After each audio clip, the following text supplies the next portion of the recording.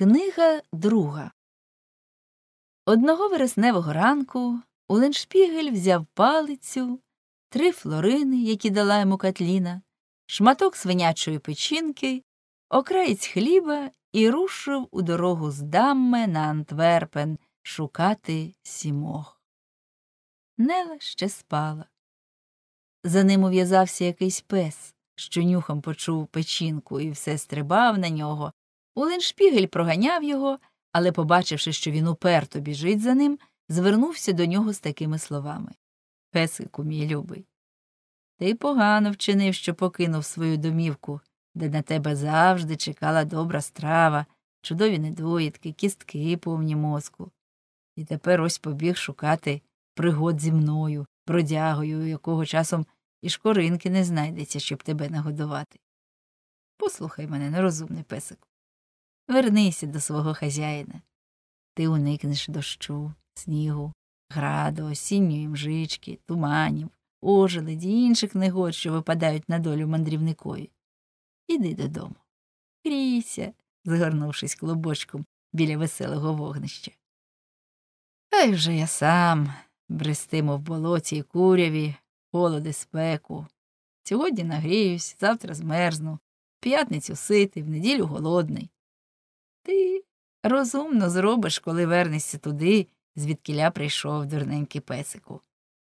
Але пес, здавалося, зовсім не слухав Оленшпігеля.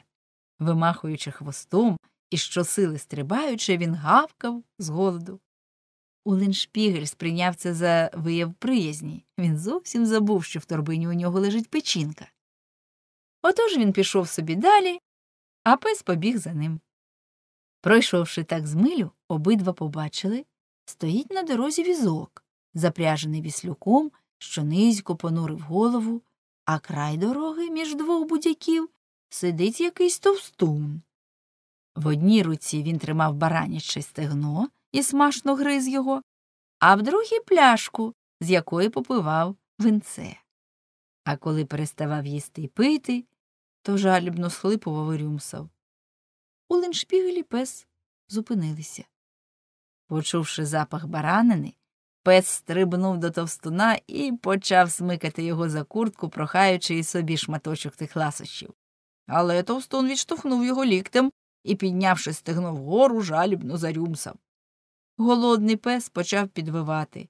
Осел із досади, що не може дотягтися до будяків, також заревів. Чого тобі, Яне? запитав товстун осла. Нічого, відповів за осла Оленшпігель. Він же також хоче поснідати будяками, що цвітуть навколо вас, як на амвоні Тесендерлоо навкруг Ісуса Христа. І цей пес був би не від того, щоб поласувати і собі маслачком, якого ви тримаєте. А тим часом я почастую його печінкою, що лежить у мене в торбі.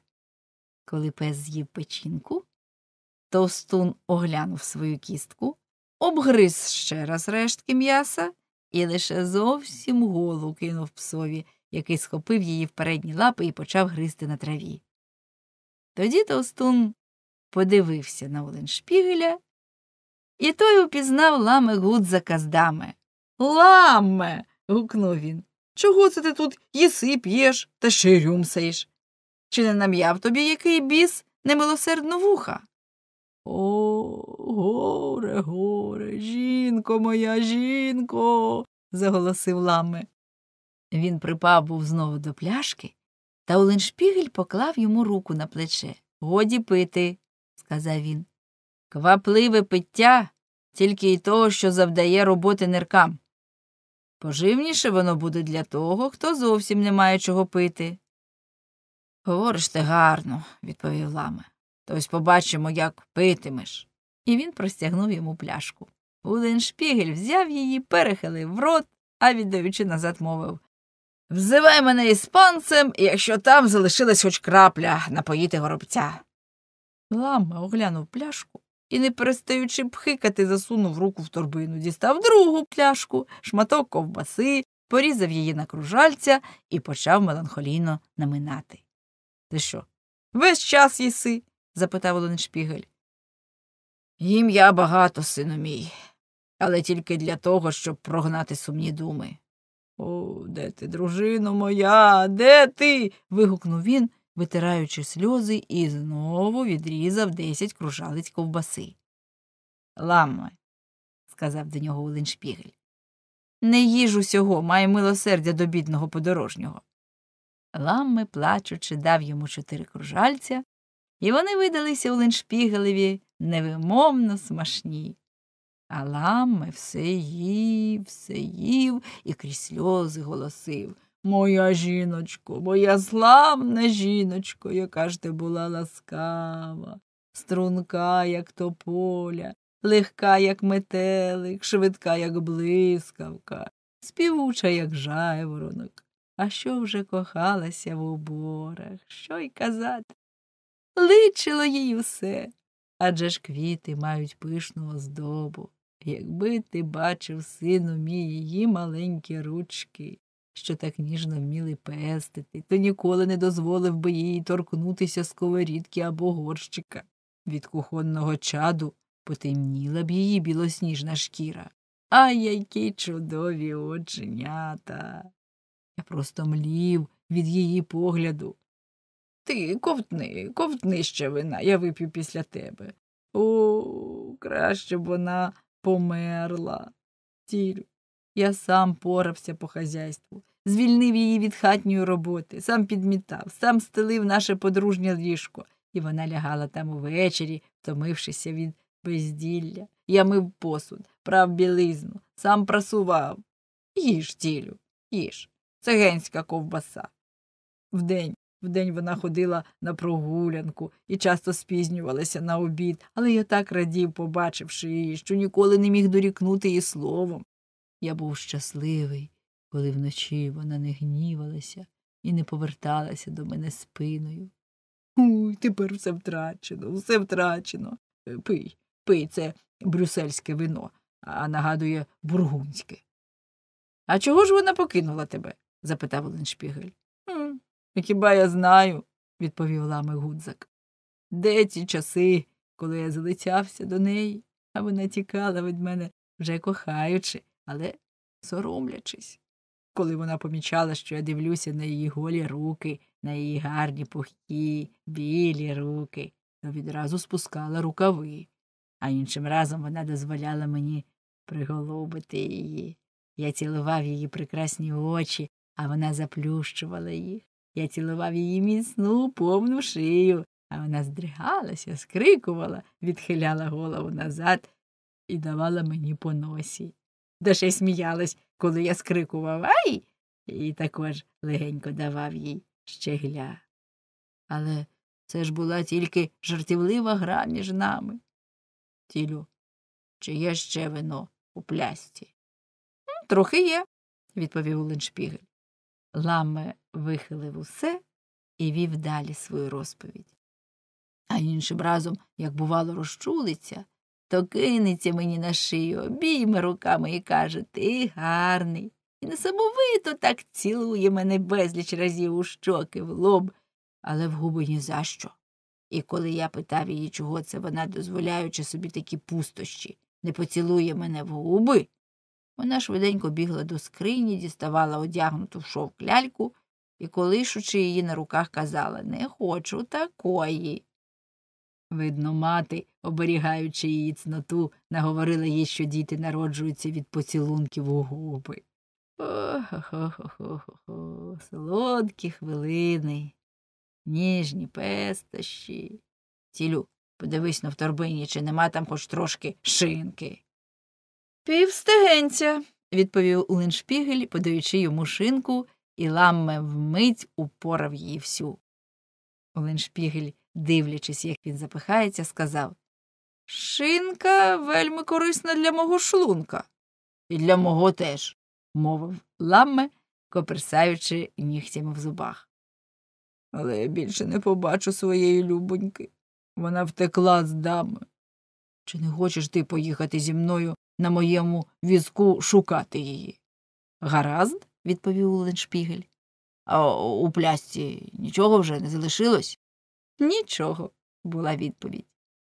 Вони сіли на візок і осел, жалібно ревнувши, рушив з місця, а пес, добре пообідавши, побіг своїм шляхом і навіть не подякував.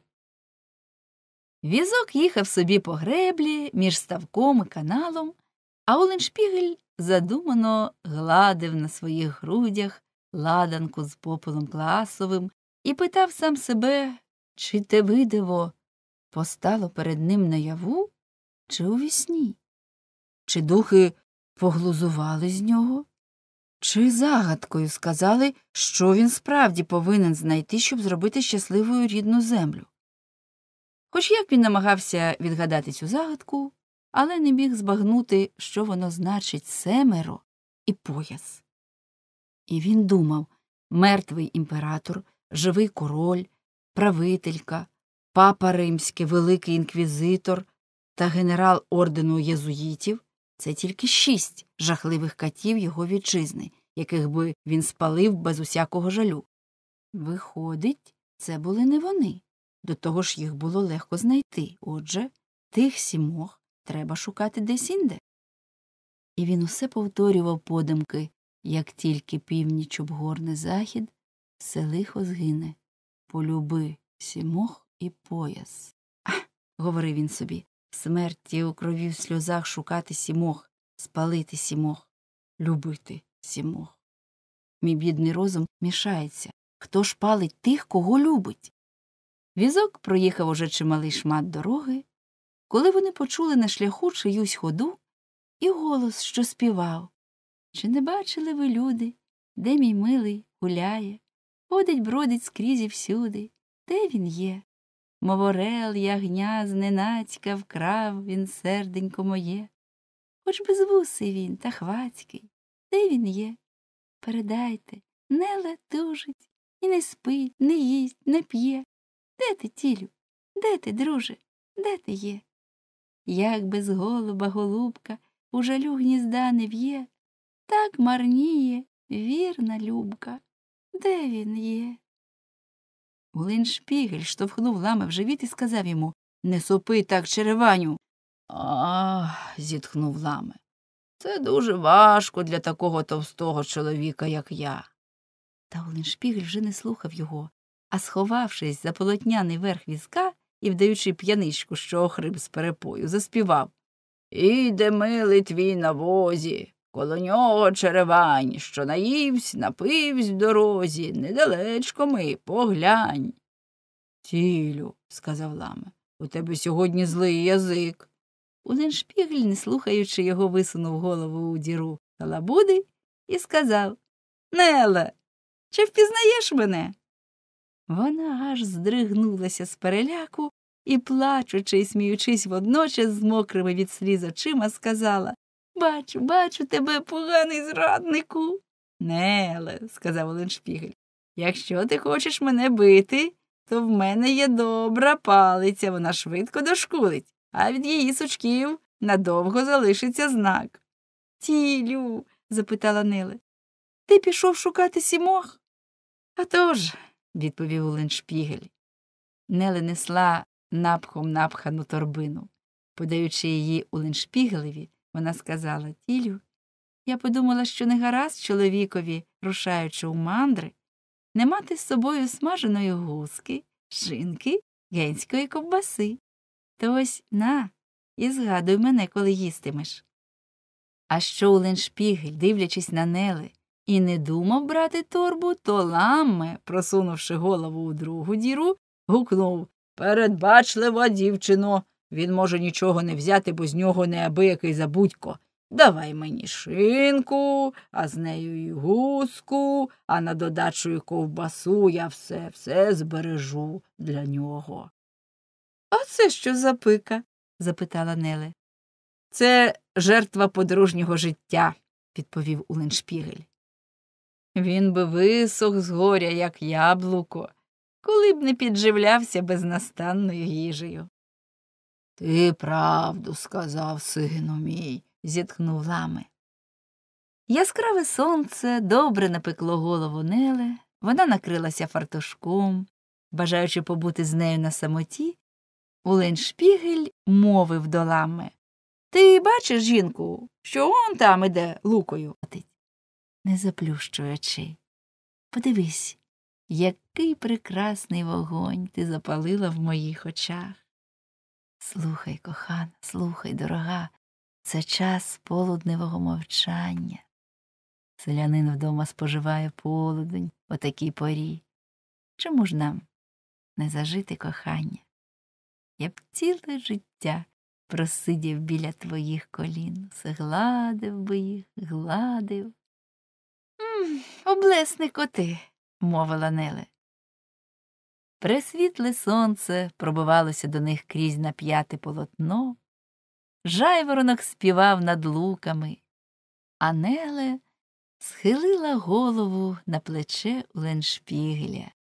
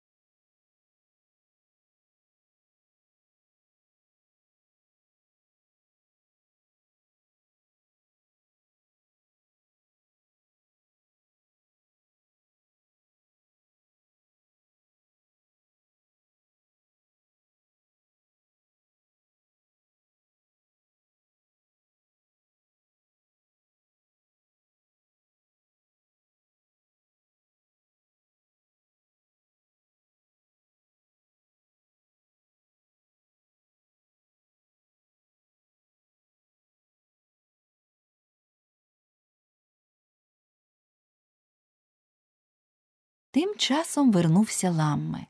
Він був мокрий від поту і пирхав, як дельфін. Ух, лихо мені, бідкався він. Народився я під нещасливою зіркою. Побігши щодуху за тою жінкою, наздогнавши її, я побачив, що то зовсім не моя дружина. Вона значно старіша. На вигляд їй можна дати років сорок п'ять, та ще й носить чепець. Отже, вона не заміжня. Вона запитала мене сердито, чого це я швендію зі своїм черевом по конюшині. А я шукаю свою дружину, яка покинула мене, відповідаю чемно. А прибіг до вас, бо мені видалося, ніби це вона. Стара дівка гримнула, щоб я вертався назад, звідки прийшов. А жінка моя, мовляв, добре зробила, що покинула мене, бо всі чоловіки негідники, гульцяї, зрадники, паскудники, єретики, спокусники дівчат, хоч би й поважного віку. І коли я не заберуся під три чорти зі своїми тельбухами, і то якнайшвидше вона нацькує на мене собаку. Я дуже злякався, кинувся тікати, бо коли її ніг лежав здоровенний пес. Перебігши за межу її поля, я сів у конюшині відпочити і хотів був трохи підживитися твоєю шинкою. Аж нараз чую. Позад мене шурхіт. Глянув. О, а то пси ще старої дівки. Він уже не гарчав, лагідно махав хвостом, певне, прохаючи шинки. Я дав йому кілька невеличких шматочків, коли бачу, Біжить його хазяйка і кричить Гудже його, гудже гицля, мій песику. Я навтіки. За мною вслід пес схопив мене за штани і вирвав клапоть разом з м'ясом. Розлютившись від болю, я потяг його ломакою по передніх лапах і вже напевне перебив хоч одну, бо він упав, репетуючи по собачому За що, змилуйтесь? Ну, я змилосердився, а хазяйка, не маючи каміння, почала жбурляти на мене грудками. Тоді я знову навтіки від неї. Ой, лихо, лихо, лихо, чи то ж не жорстоко, чи то ж справедливо, що вона мститься на мені, невинному бідоласі, за те, що не вийшла заміж, не знайшла собі жениха, бо дуже бридка. Я тяжко засмутився, подався до корчми, яку ти мені показав, думав, пиво розвіє мою журбу. Але і тут мені не пощастило. Бо, увійшовши, бачу бійку, чубляться чоловік і жінка. Я попросив їх, якщо їхня ласка, припинити баталію, щоб можна було випити дзбаночок та кухликів до шести. Але жінка, справжня суха тріска, розлючена, як відьма, крикнула мені, щоб я негайно забирався геть, а то вона почастує мене тим самим дерев'яним черевиком, яким гладить по голові свого чоловіка. І ось, друже мій, я тут, мокрісінький від поту, втомлений і голодний, як пес. Чи нема у тебе чого-небудь попоїсти? Є, відповів Оленшпігель. О, оце гаразд. гукнув лами. Отак усі вони вкупі і рушили в дорогу. Ослик, прищуливши вуха, потяг візка. Ламе, сказав Оленшпігель. Ось нас тут четверо. Ослик, тварина божа, скубе собі то тут, то там будяки. Ти, добродушний товстунчик, шукаєш дружину, яка тебе покинула. Потім ось вона, лагідне створіння з ніжним серцем, що знайшла того, хто її не вартий, тобто мене четвертого. Отже, дітки, сміливіше вперед, бо листячко жовтіє, небо синішає, скоро тумани осінні закриють ясне сонечко, прийде зима, прообраз смерті, і вкриє сніговим саваном тих, хто спочиває в сирій землі, а я все шукатиму щастя для рідного краю. Бідолашні небіжчики, ти, Соткін, що вмерла з горя, ти, класе, спалений на вогнищі. Ти, дубе зелений, добрий, ти плющ кохання. Я ваш паросток. Я тяжко страждаю і помщуся за вас, бо дорогий мені попіл б'ється в груди мої. Ламме сказав не треба оплакувати тих, хто вмер за правду. Та у Леншпігеля не покидали важкі думи, і він раптом сказав От і прийшов час нашої розлуки, Неле. Розлучаємося ми надовго, а може, я ніколи більше не побачу твого милого личка. Неле дивилася на нього, і її очі блищали, мов зорі. Покинь цей візок, мовила вона. Підемо зі мною в ліс. Там у нас буде смачна їжа. Я знаю всілякі рослини, вмію приваблювати птахів. Дівчино, озвався лами. Не гаразд ти робиш, що намагаєшся затримати Уленшпігеля на його шляху.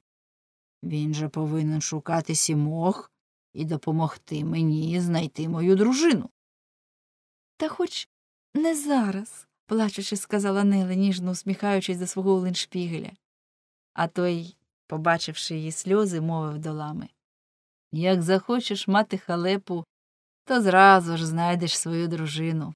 Тілю, звернувся ламе до Уленшпігеля. То ти заради цього дівчиська ладен мене покинути самого в цьому візку?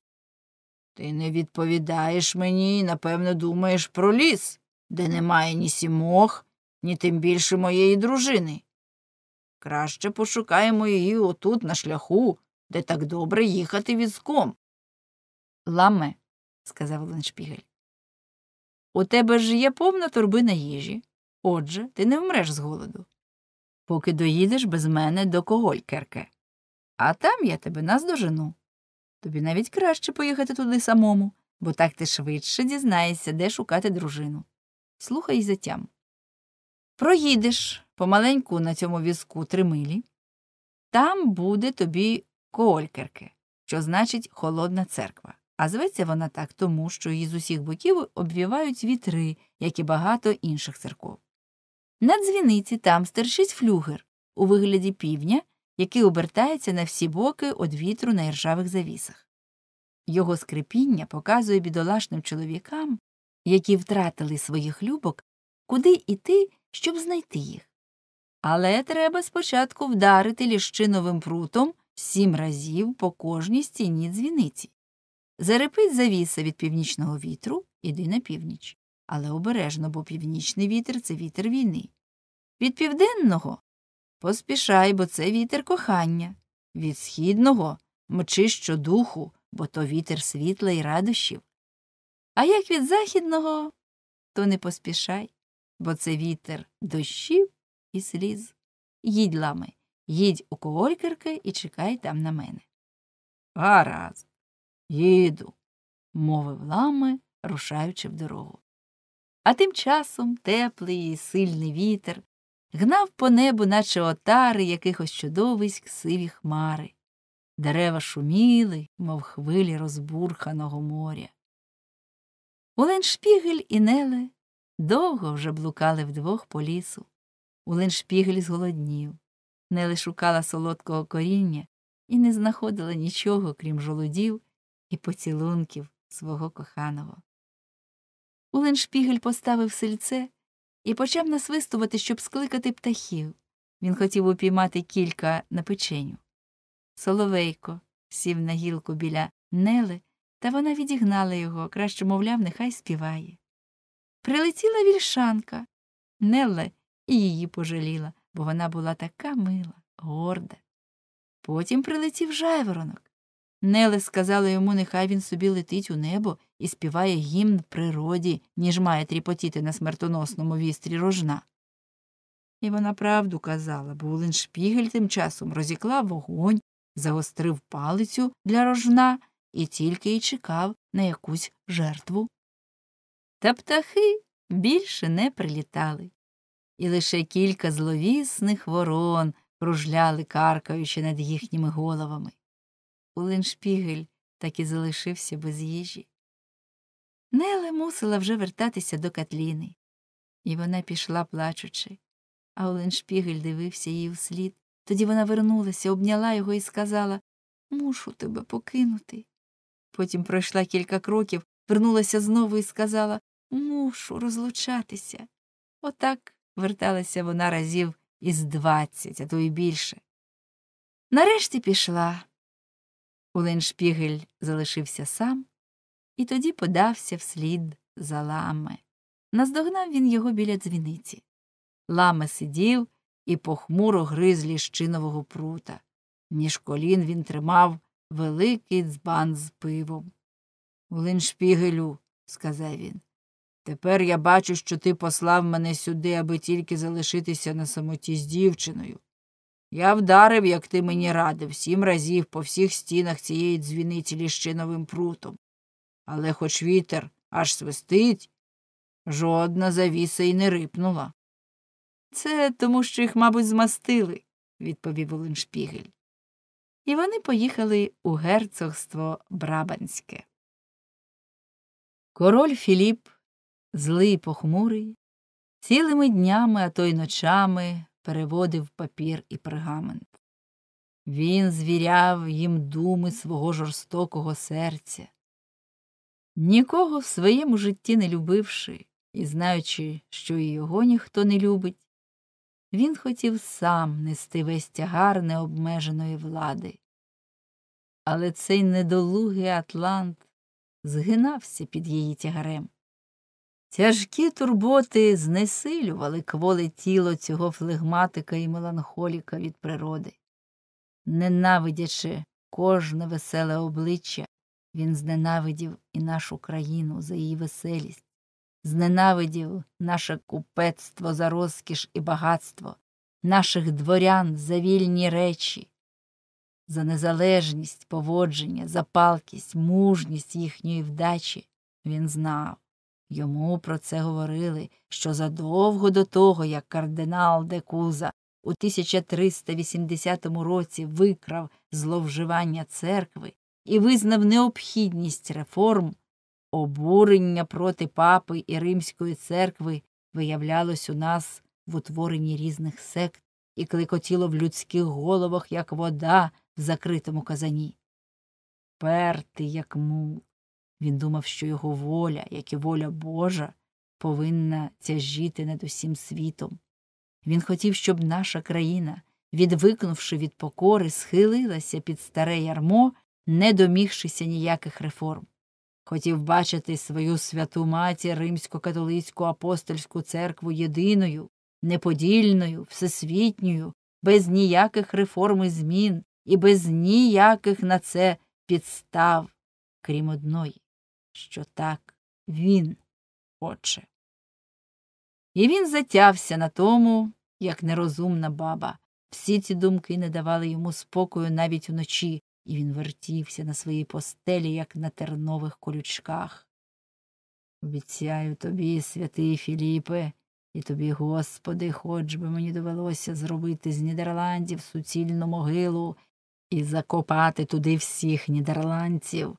Вони повернуться до тебе, мій блаженний патроне, і до тебе також, пречиста Діва Марія, і до вас, святі угодники. І він здійснював свої задуми, намагаючись перевершити в католицтві самого папу римського, стати правовірнішим, ніж Вселенські собори. І Уленшпігель, і Ламме, і весь нідерландський народ з жахом уявляли, як десь далеко, у похмурому ескоріалі, сидить цей коронований павук з довжелезними лапами, роззявленою пащею, і тче свою паутину, щоб піймати їх у неї і виссати найчистішу їхню кров. Хоча папська інквізиція за імператора Карла спалила на вогнищах, закопала живцем у землю і повісила сто тисяч християн, хоча все майно засуджених полилося, наче дощова вода з ринви в імператорській і королівській скрині, цього видалося не досить для короля Філіпа. Він створив у Нідерландах нові єпархії і запровадив тут іспанську інквізицію.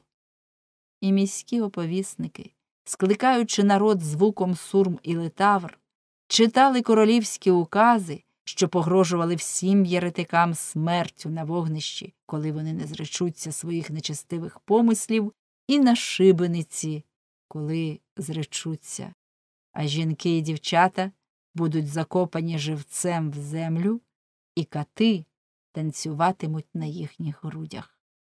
І полум'я гніву народного спалахнуло по всій країні. 5 квітня перед Великоднем граф Людвіг Насауський, Кюлембург, Бредероде, цей Геркулес Гульвіса і ще три сотні дворян з'явилися до палацу правительки герцогині Парбської в Брюсселі. По четверо в ряд ішли вони вгору широкими сходами палацу. Увійшовши в залу, вони передали герцогині петицію, в якій просили її, щоб вона домоглася від Філіпа скасування указів про віровизнання, а також про іспанську інквізицію, бо інакше, заявили вони, такі укази викличуть у нашій країні незадоволення, з чого постануть заколоти, які призводять тільки до руїни і загального зубожіння. Ця петиція була названа компромісом. Берлеймун, який згодом став зрадником і катом рідної землі, був коло правительки. Глузуючи з бідності деяких дворян, він сказав їй Не бійтеся, ваша вельможносте, це ж гези. Цим він хотів сказати, що вони збідніли чи то на королівській службі, чи то намагаючись зрівнятися з іспанськими грандами.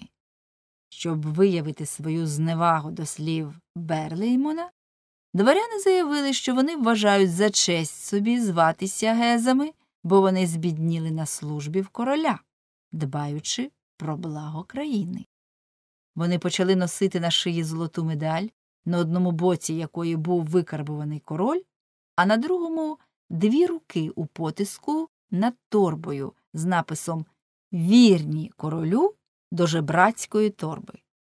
А на шапках і капелюхах вони носили золоті прикраси у вигляді миски і жебрацького ковпака. А тим часом ламме, тягаючи своє черево по місту, шукав свою дружину та ніде не міг знайти. Одного ранку Улиншпігель сказав йому Ходи зі мною, засвідчимо свою пошану одній високородній, вельможній, могутній, грізній персоні. А ця ж персона скаже мені, де моя дружина? запитав ламе. Як знає, то скаже, відповів Оленшпігель. І вони пішли до Бредероде Геркулеса Гульвіси. Він був на подвір'ї свого замку. Чого тобі треба від мене? запитав він у Леншпігеля. Поговорити з вами, вельможний пане, відповів Уленшпігель. Говори, сказав Бредероде. Ви прекрасний, хоробрий, могутній рицар, почав Уленшпігель. Ви задушили колись одного француза в панцирі, наче слимака в шкаралупі. Але ж ви не тільки сильні й хоробрі, не бракує вам і розуму. То скажіть, будьте ласкаві, нащо ви носите оцю медаль з написом Вірні королю до жебрацької торби? Еге ж, запитав ламе, навіщо, вельможний пане? Бредероде мовчав і дивився на Оленшпігеля, а той вів далі. Чому ви, благородні сеньори, хочете бути вірними королю аж до жебрацької торби? За які особливі милості? За яку особливу його ласку? То чому ж замість бути йому вірними до жебрацької торби не відібрати в цього ката все награбоване в нашій країні, щоб він сам мусив бути вірний жебрацькій торбі? І ламме кивав головою на знак цілковитої згоди. Бредероде пильно оглянув Леншпігеля своїм гострим поглядом і усміхнувся, побачивши в його обличчі щирість. Якщо ти не шпигун короля Філіпа, сказав він, то ти добрий фламандець, і я тебе винагороджу за те і за друге. Він повів його до буфетної, а дорогою так скубнув за вухо, що аж кров бризнула. Це тобі за шпигуна, сказав він. Уленшпігель ні пари з уст. А принеси но, звернувся він до служника, дзбан Глінтвейну.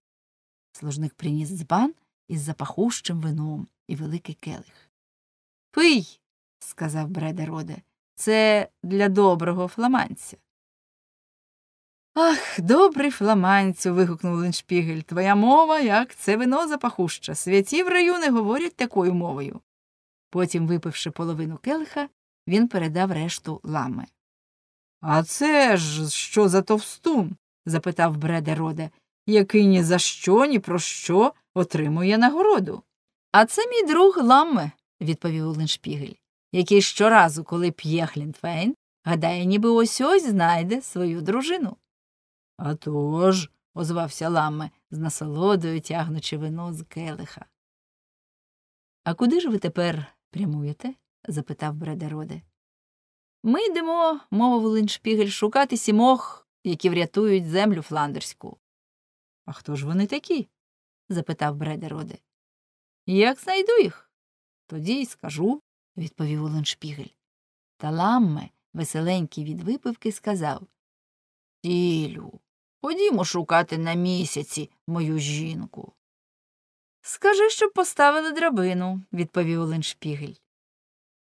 Був травень, зелений травень, і Оленшпігель мовив до лами Ось і прекрасний травень, синіє чисте небо, радіють ластівки, рожево набубнявіли від соку бруньки на деревах, земля від любові мліє.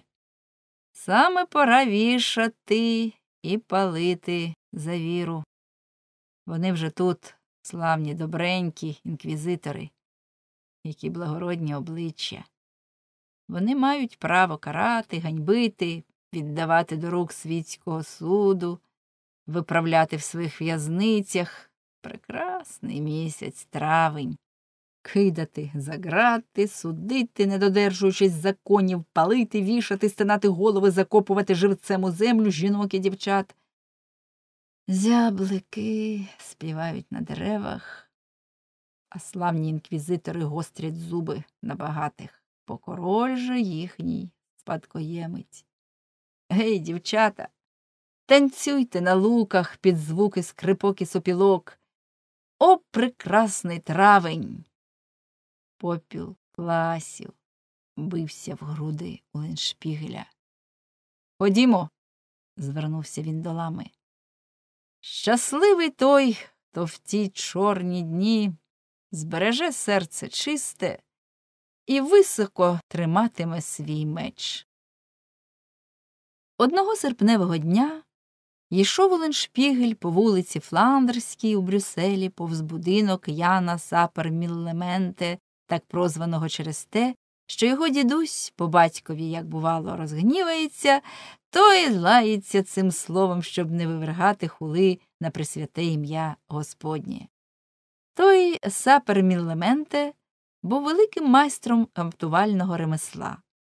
Однак він давно оглух та осліп від пияцтва, і замість нього гаптувала вельможним сеньорам камзоли, плащі, пантофлі його жінка, стара злюща відьма, а вродлива донька допомагала їй у цій вигідній роботі. Отож, перед вечором, ідучи повз будинок, Оленшпігель побачив у вікні дівчину і почув її спів. Милий серпню, ти скажи, хто мій буде наречений? Милий серпню, розкажи. А хоч би і я. гукнув Оленшпігель. Ти? запитала вона. А підійди но ближче, я подивлюся на тебе. А він їй. А чого ж це ти в серпні співаєш про те, про що дівчата в Брабанті співають наприкінці лютого?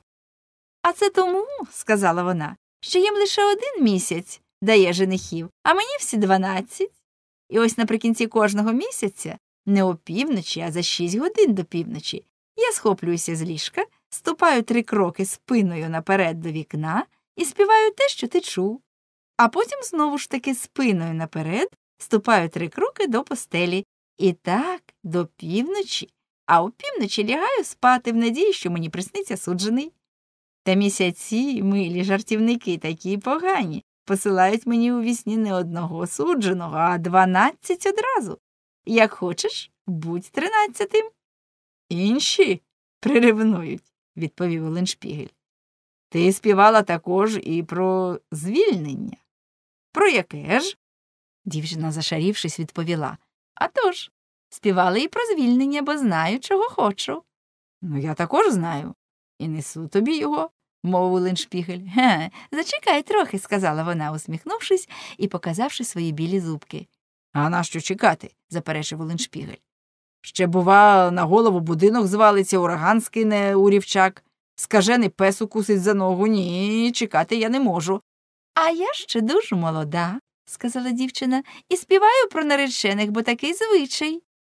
Оленшпігель подумав коли брабацькі дівчата викликають наречених на початку березня, то чого ж це вона викликає їх у жнива? І в нього виникла підозра до неї.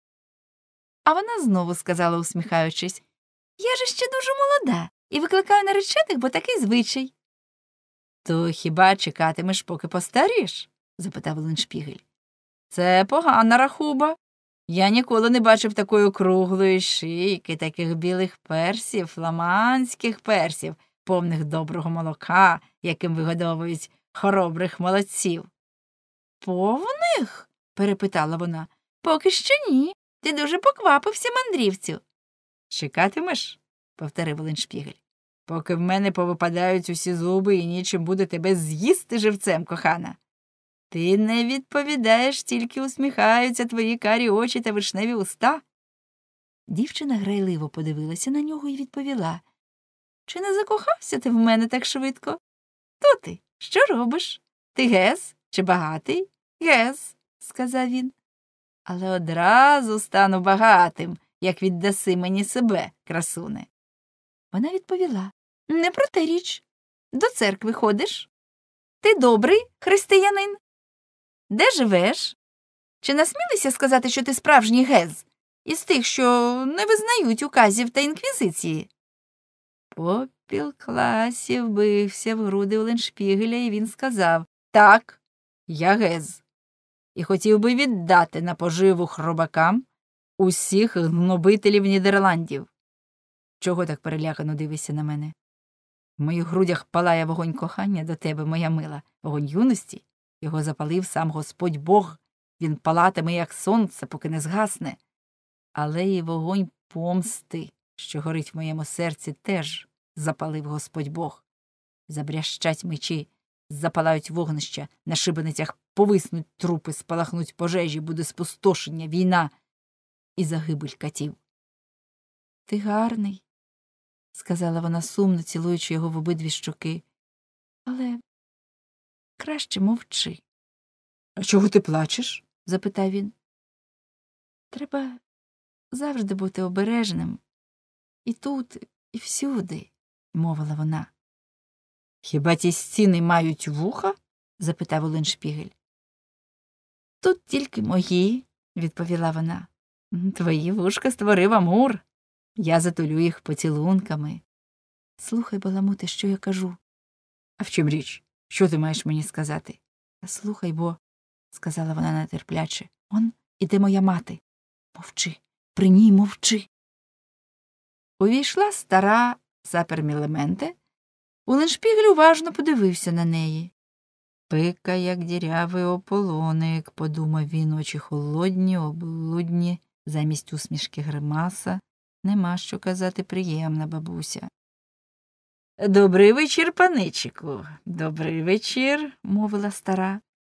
Я одержала гроші, доню. Добрі гроші від пана Егмонта за отой плащ, на якому ти гаптувала для нього блазенський ковпак. Еге ж, паничику, блазенський ковпак, на злість червоному псові. Кардиналові Гранвеллі? Запитав Оленшпігель. «А то ж», – підтвердила вона. На злість червоному псові. Кажуть, ніби він доносить королю про всі їхні заміри. От вони і хочуть його знищити і добре зроблять, правда? Уленшпігель мовчав. Ви, напевне, зустрічали їх на вулиці. Вони одягнуті в камзоли і сірі оперскліди, такі, як носить простолюд, з довгими рукавами та чернечими каптурами, а на всіх оперсклідах вигаптовані блазенські ковпаки. Я вигаптувала їх не менше як двадцять сім, і донька п'ятнадцять. Червоний пес сказиться, як побачить ці ковпаки. А потім вона стала шепотіти на вухо Оленшпігелеві. Я знаю, тепер вони надумали замінити ковпаки жмотом колосся. На знак єдності. Так, так, так, так. Вони хочуть повстати проти короля та інквізиції. Давно пора, давно, чи не так, паничику? Оленшпігель і на це не відповів нічого. Ви, паничику, приїджі, ніби чимось засмучені, так? запитала стара, наче в рот води набрали. Оленшпігель, не мовивши ні слова, вийшов. Трохи згодом, щоб не забути, як п'ють, він зайшов у шинок, де грала музика. У шинку було повно чарколюбів. Вони голосно говорили про короля, про ненависні укази, про інквізицію і червоного пса. Мовляв, його давно треба було вигнати з країни. Тут Оленшпігель побачив і стару. Одягнута в лахміття, вона сиділа біля столу над півквартою горілки і, здавалося, куняла. Довгенько вона отак сиділа, потім, вийнявши тарілочку, стала обходити присутніх, прохаючи милостиню, особливо у тих, що були надто необережні в розмові. І простаки щедро давали їй флорини, ден'є, патари. Улиншпігель, сподіваючись вивідати в дівчини те, чого йому не сказала стара сапер Мілементе, знову пройшов повз їхній будинок. Тепер дівчина вже не співала, а усміхнулась до нього і лукаво підморгнула, ніби даючи солодку обіцянку. Раптом позад нього знову опинилася стара. Уленшпігель розсердився і, щоб позбутися її, кинувся бігти по вулиці, наче олень з криком Горить, горить, аж поки не добіг до будинку пекаря Якоба Пітерсона. Вікна цього дому, засклені на німецький зразок, палали в призахідному промінні сонця. З комина бухкав густий дим, бо в пекарні саме топилася піч. Уленшпігель біг і кричав Горить, горить. Позбігалися люди і побачили червоні вікна і густий дим. І теж закричали Горить, горить. Сторож на дзвіниці собору засурмив сурму, дзвонар задзвонив на сполох. З галасом і свистом збіглися дітлахи. Дзвін і сурма не переставали лунати. Стара сапір Міламенте побігла і собі, підібравши спідницю. Улиншпігель дивився їй вслід. Побачивши, що вона далеко, він вернувся і увійшов до дівчини. Це ти. скрикнула вона. Хіба ж там не горить? Там? Ні, відповів Улиншпігель. А чому ж дзвонять на сполох? Вони самі не знають, що роблять, відповів Улиншпігель. А чому тривожно лунає сурма? Чому біжить народ? Дурнів на світі без ліку. То що ж там горить? запитала дівчина. Горять твої очі, і палає моє серце, відповів Оленшпігель і припав до її губів. Мене з'їси, сказала вона. Я люблю вишні, відповів він. Дівчина подивилася на нього, сумно усміхнулася і раптом заплакала.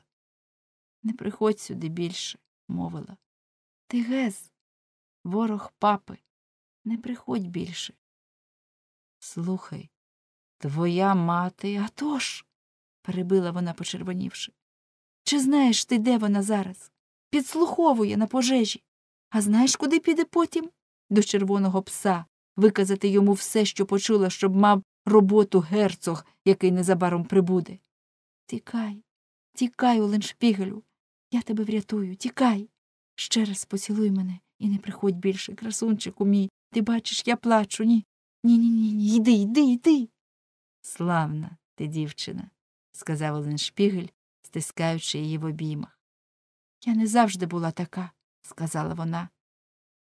Отже, ті співи, те причаровування суджених. «А тож», – відповіла дівчина.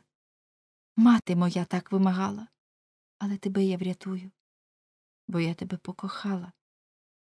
Тепер я буду і інших рятувати на спомин про тебе, мій коханий. Коли ти будеш далеко, чи згадає твоє серце про дівчину, що розкаялась? Поцілуй мене, коханий. Вона вже не посилатиме більше за гроші своїх жертв на вогнище. Тепер ні. Побудь ще трохи. Яка ніжна твоя рука. Дивись, я цілую твою руку. Це знак покори. Ти мій пан. Слухай, стань ближче і мовчи. Сьогодні зібрались у нас лихі люди, якісь злодії, шахраї, а між ними один італієць. Мати покликала їх до цієї кімнати. Мені наказали вийти і зачинила двері. Я чула тільки окремі слова кам'яне розп'яття, Боргергутська брама, процесія, Антверпен, собор Богоматері, приглушений сміх, брязкіт флоринів, що їх лічили на столі. Тікай, тікай, мати йде, тікай, мій милий, не згадуй мене лихом, тікай. Уленшпігель побіг, як вона йому сказала, до таверни старий півень, і застав там ламме, який сумно жував ковбасу і допивав сьомий кухоль лувинського пива. І ламме кинувся тікати разом з ним, незважаючи на своє черево. Бігли вони щодуху аж до вулиці Екенстрат, і там Оленшпігель знайшов злісний пасквіль на Бредероде. З цим пасквілем він і подався просто до нього.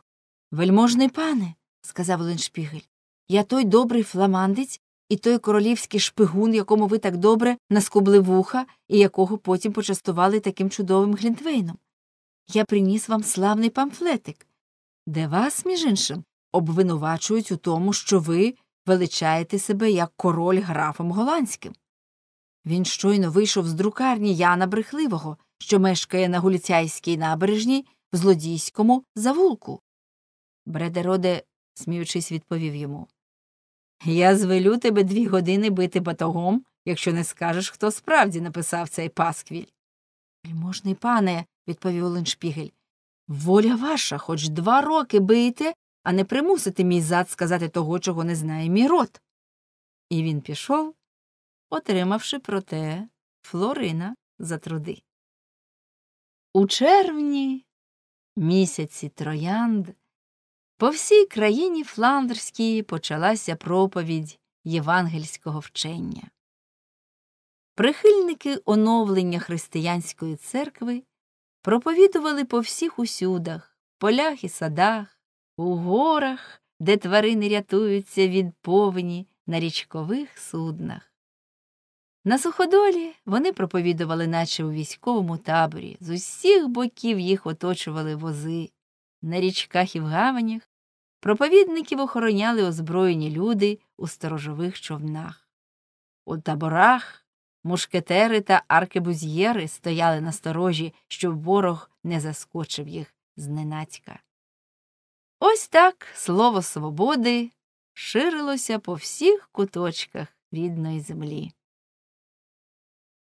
Приїхавши у Брюге, Уленшпігель і Ламме залишили свій візок у найближчому заїзді і замість піти до якогось шинку пішли до храму Спасителя, бо в гаманцях у них уже не брящали весело грошики. На кафедрі несамовито горлав брудний, нахабний, злостивий чернець мінорит, отець Корнеліс Адріансен. Навколо товпились молоденькі гарненькі святенниці. Отець Корнеліс говорив про страсті Христові. Дійшовши до того місця в святому Євангелії, де іудеї кричали Пілатові Розіпни, розіпни його, у нас є закон, і за тим законом він повинен умерти.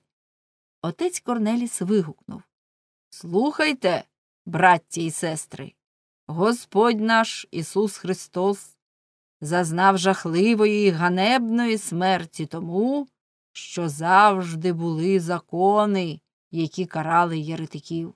Отже, він був справедливо засуджений, бо переступив закон. А тепер нечестиві єретики мають за ніщо єдикти і укази, о Господи Ісусе, за що ж такі прокляття посилаєш ти на землю нашу? Пречиста матір Божа, що б сказав імператор Карл, якби був ще живий, і якби побачив ганебний вчинок дворян змовників, що насмілились подати петицію правительці проти інквізиції і проти указів, що ведуть тільки до блага, що добре обмірковані і видані після довгих та розважливих роздумів на згубу і знищення всіх сект і єресій. І вони хочуть скасувати ці укази, що людям потрібніші, ніж хліб і сир. Яку ж гидку, брудну, смердючу безодню хочуть вони зіпхнути нас. Лютер, паскудний Лютер, цей скажений бугай, тріумфує в Саксонії, Брауншвейгу, Люнебурзі, Мекленбурзі. Бренциус, це лайно Бренціус, що живився в Німеччині жолудями, яких і свині не схотіли б з'їсти. Тепер верховодить у Вюртемберзі. Божевільний сервет, у якого лише чверть клепок в голові. Тринітарій сервет панує в Померанії, Данії, Швеції і сміє виригати блюзнірства на святу, єдиносущну і всемогутню трійцю. Еге ж. Та мені казали, що його живцем спалив Кальвін. Хоч одне добре діло зробив цей смердючий Кальвін, від якого ткне кислятиною. Еге ж той Кальвін з довгою, як бурдюк, наче з сиру зробленою пикою, з якої стирчать великі, як лопати зуби. Ге ж, вовки жируть один одного. Отой бугай Лютер, скажений бугай, підняв німецьких князів на Анна Баптиста Мюнцера, що був, як кажуть, добрим чоловіком і жив по святому письму. А тепер По всій Німеччині чутно ревіння цього бугая. Так, а що ми бачимо у Фландрії, Гельдерні, Фрісландії, Голландії, Зеландії? Адаміти гасають голяка по вулицях, геж люди добрі, голісінькі по вулицях, без сорому показуючи своє грішне тіло перехожим. Та це, може, тільки один, скажете ви. Еж, нехай. Та цей один вартий сотні, а сотня варта одного. І він був спалений, скажете ви, спалений живцем на прохання кальвіністів і лютеран? А вже ж. Ці вовки жируть один одного, я вам кажу. То що ж ми бачимо у Фландрії, Гельдерні, Фрісландії, Голландії, Зеландії? Безбожників, котрі вчать, що всяке рабство противне Слову Божому. Брешуть вони, смердючі єретики. Треба підкорятися святій матері нашій, церкві римській. А там, у цьому проклятому місті Антверпені, в цьому кублищі всілякої єретичної сволоти з усього світу, сміють базікати, наче ми готуємо святі обладки на собачому салі? Один голодранець на розі вибльовують. Дівчиська бігають ночами на їхні проповіді, аге ж, а через дев'ять місяців наплодять вам цілу купу гезенят.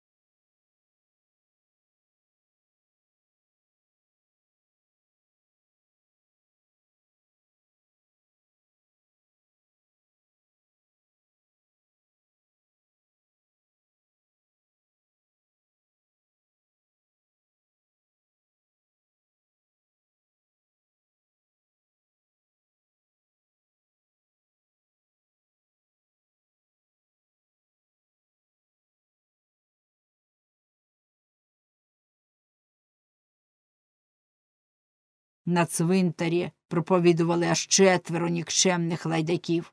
Один із тих нікчем, худий, блідий, бридкий поганець, насунув на голову брудного капелюха, так що і вух не видно було.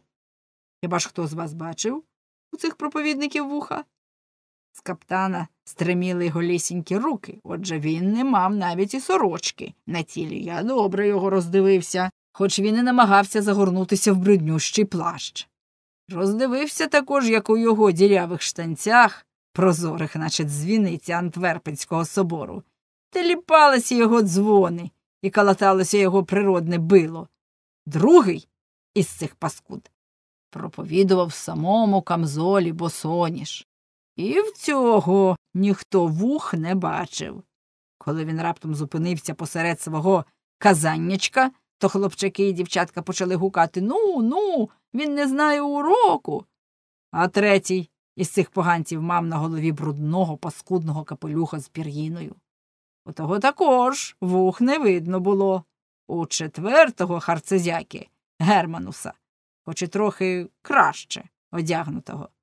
Напевне, були два тавра на плечі, поставлених катом. У кожного під капелюхом була заяложена шовкова ярмулка, яку він натягав на вуха.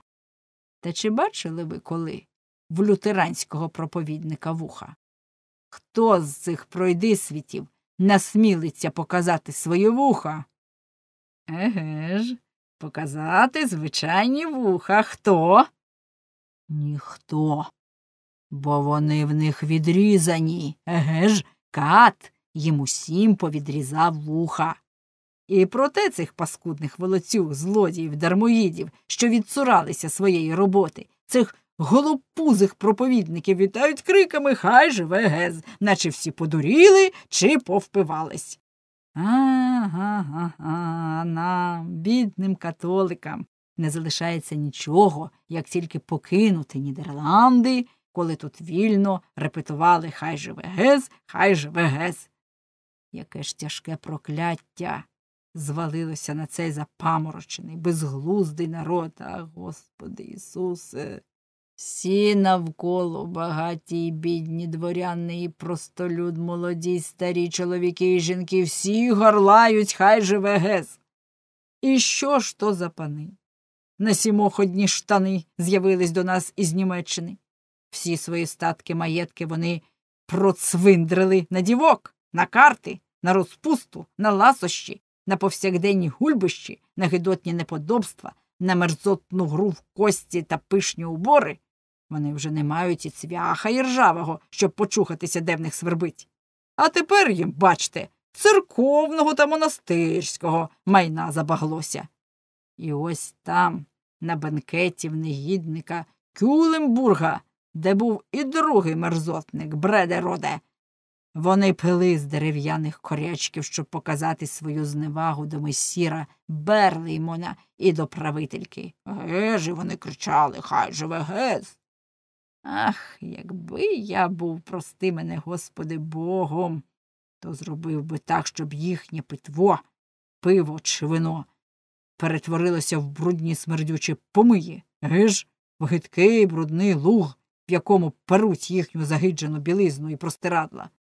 Ревіть, віслюки ви, дурні, ревіть, хай живе гес, так. Я ваш пророк. Всі прокляття, нещастя, пропасниця, чума, пожежі, руїна, спустошення, трястя, чорна віспа, хай упадуть на Нідерланди. Геж. Нехай Господь покарає вас за ваше мерзенне ревіння, хай живе гез.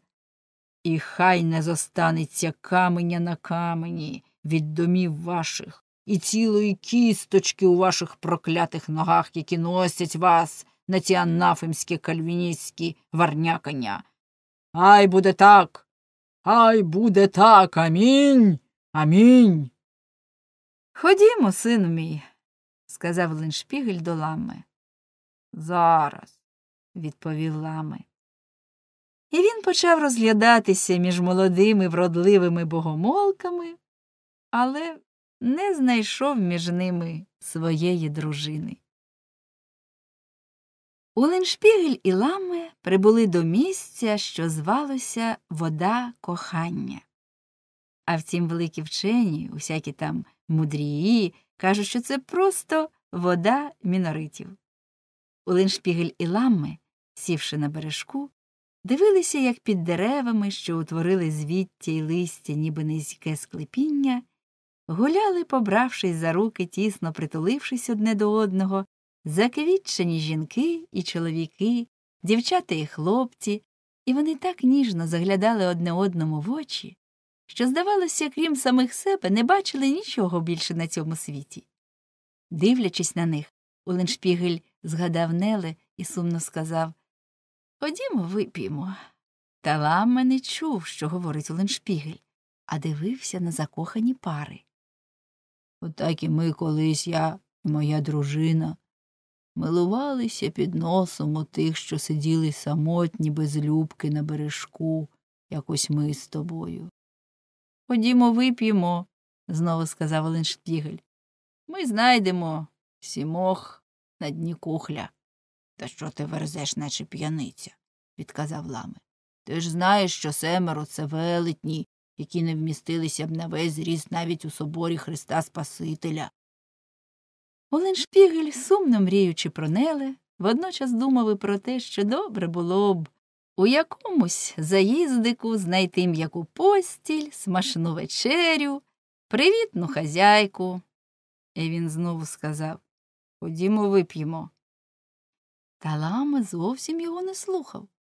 Звівши очі до дзвіниці собору Богоматері, він молився Свята Діву Марія, покровителько тих, що любляться по закону, сподоби мене ще раз побачити її білі перса, ті м'які подушечки. Ходімо, вип'ємо, квапив Оленшпігель, ти знайдеш її в шинку, де вона виставляє на показ п'яницям свої принади. І ти смієш так погано думати про неї, образився ламе. Ходімо, вип'ємо, правив своєю Оленшпігель. Вона вже, напевно, хазяйнує десь в шиночку. Тобі хочеться випити от ти й сердишся. Оленшпігель вів далі. Можливо, вона вже приготувала для бідних мандрівників доброї тушкованої яловичини з гострими приправами, аромат яких сповняє повітря, нежирної, ніжної, сочистої, як поліски троянди, що плаває, наче риба, намасляну серед гвоздики, мускатного горіха, півнячих гребінців, телячих залоз та інших божественних наїдків. Ну, негіднику. скрикнув ламе. Ти, напевне, хочеш мене доконати? Чи ж ти забув, що ми вже два дні не бачили нічого, крім сухого хліба і ріденького пива? Тобі хочеться їсти? От ти й сердишся, відповів Оленшпігель. Ти аж плачеш, так хочеш їсти. Ну, то й ходімо їсти і пити. Ось півфлорина буде за що побенкетувати. Ламе зрадів. Вони знайшли свого візка і поїхали по місту, шукаючи кращого заїзду. Але, побачивши кілька гидких пик хазяїв і малопривітних господарок, ніде не зважилися зупинитись, знаючи, що люта пика це погана вивіска для шинків. Вони приїхали на суботній ринок і зайшли до шинку під вивіскою блакитний ліхтар. Тут хазяїн, як видалося, їм мав трохи привітніше обличчя. Вони поставили свій візок у повітку, а віслюка завели в стайню, давши йому до компанії торбу з вівсом. Потім замовили вечерю, наїлися до схочу, добре виспалися і встали, щоб знов наїстися. Лами їв, аж за вухами лящало, і все примовляв я чую в своєму шлунку божественну музику. Коли ж настав час платити, хазяїн підійшов до лами і сказав З вас належить десять патарів. Вони в нього, мовив лами, показуючи на Оленшпігель, але той відповів В мене зовсім нема грошей. Ані півфлорина? запитав лами. А нічогісінько, відповів Оленшпігель. Добре діло, сказав хазяїн. Тоді я здеру з вас куртки і сорочки. Раптом лами, що набрався таки з пляшки сміливості, загорлав. А коли я ще захочу наїстися і напитись, я, я наїстись і напитись, геж напитись хоч на двадцять сім флоринів, то що? Не зроблю цього. Ти що ж гадаєш, що моє черево нічого не варте? Хвалити бога, воно досі живилося з самими ортоланами. Ти ніколи не носитимеш такого під своїм засмальцованим поясом, бо ти з люка і весь свій жир носиш на комірі своєї куртки, не так, як у мене, три пальці смачного сальця на череві. Хазяїн трохи не сказився. Він був заїка, а зараз аж захлинався словами, і що швидше він говорив, то гучніше пирхав, наче пес, що з води виліз. Уленшпігель кидав йому в ніс кульки з хліба, а ламме все більше розпалювався і кричав То ти що ж думаєш? Я не маю чим заплатити за твої три дохлих курки і за четверо паршивих курчат та за дурного павича, що стягав свого задрипаного хвоста на курнику. Якби твоя шкура не була сухіша за шкуру старого нікчемного півня, якби твої кості не скрипіли так у твоїх грудях, то я б ще мав за що з'їсти і тебе, і твого зашмарканого слугу, і твою сліпу служницю, і твого кухаря, котрий, як нападе його короста, то й почухатися не годен, такі в нього короткі руки. Чи ви бачили його? Гляньте но на цього гарного птаха, що за пів флорина хоче відібрати у нас куртки і сорочки. Ану, скажи мені, що коштує усе твоє манаття задрипаний на хабо? Я дам тобі за нього хіба що три ляри. Але хазяїн розлютився ще більше, ледве дух переводив від злості, а Уленшпігель тим часом кидав в нього кульками з хліба. Ламме ревів, як лев. Скільки, по-твоєму, здохлятино вартий добрий осел з гарною мордочкою, з довгими вухами, широкими грудьми і міцними ногами? Вісімнадцять флоринів щонайменше. Хіба не правда, паскудний трактирнику? Та ти не назбираєш стільки ржавих цвяхів в своїй скрині, скільки золотих варта ця чудова худоба. Хазяїн ще дужче сопів, але не смів поворухнутись, а ламе все молов. А скільки, по-твоєму, вартий добрячий візок, пофарбований у червоне з будою куртрейського полотна, щоб захиститись від сонця і негоди? Двадцять чотири флорини щонайменше, геш? А скільки це буде? Вісімнадцять флоринів та двадцять чотири. Говори, паршивий скнару. Сьогодні маємо базарний день. У твоїй поганій корчмі он скільки людей. І не змигнеш, як я йому все продам. Так він і зробив, бо ламме знали всі. Йому дали за візка за словом 44 флорини і 10 патарів. А тоді, брязкаючи золотом перед самим шинкаревим носом, він вигукнув Чуєш, як тут пахне майбутніми гулянками? «А тож», – відповів шинкар, але тихенько додав Коли продаватимеш свою шкуру, я куплю її за ліар і зроблю собі амулет проти марнотратства. А тим часом молода вродлива жіночка, що ховалася в темному дворі, раз у раз поглядала у вікно на ламе, але тільки но він обертався, її гарненьке личко одразу зникало. А ввечері, коли він піднімався по сходах без світла, спотикаючись після щедрої випивки, він відчув, як якась жінка обійняла його, міцно поцілувала у щоки, в губи і навіть в ніс, змочивши йому обличчя сльозами кохання, і зникла.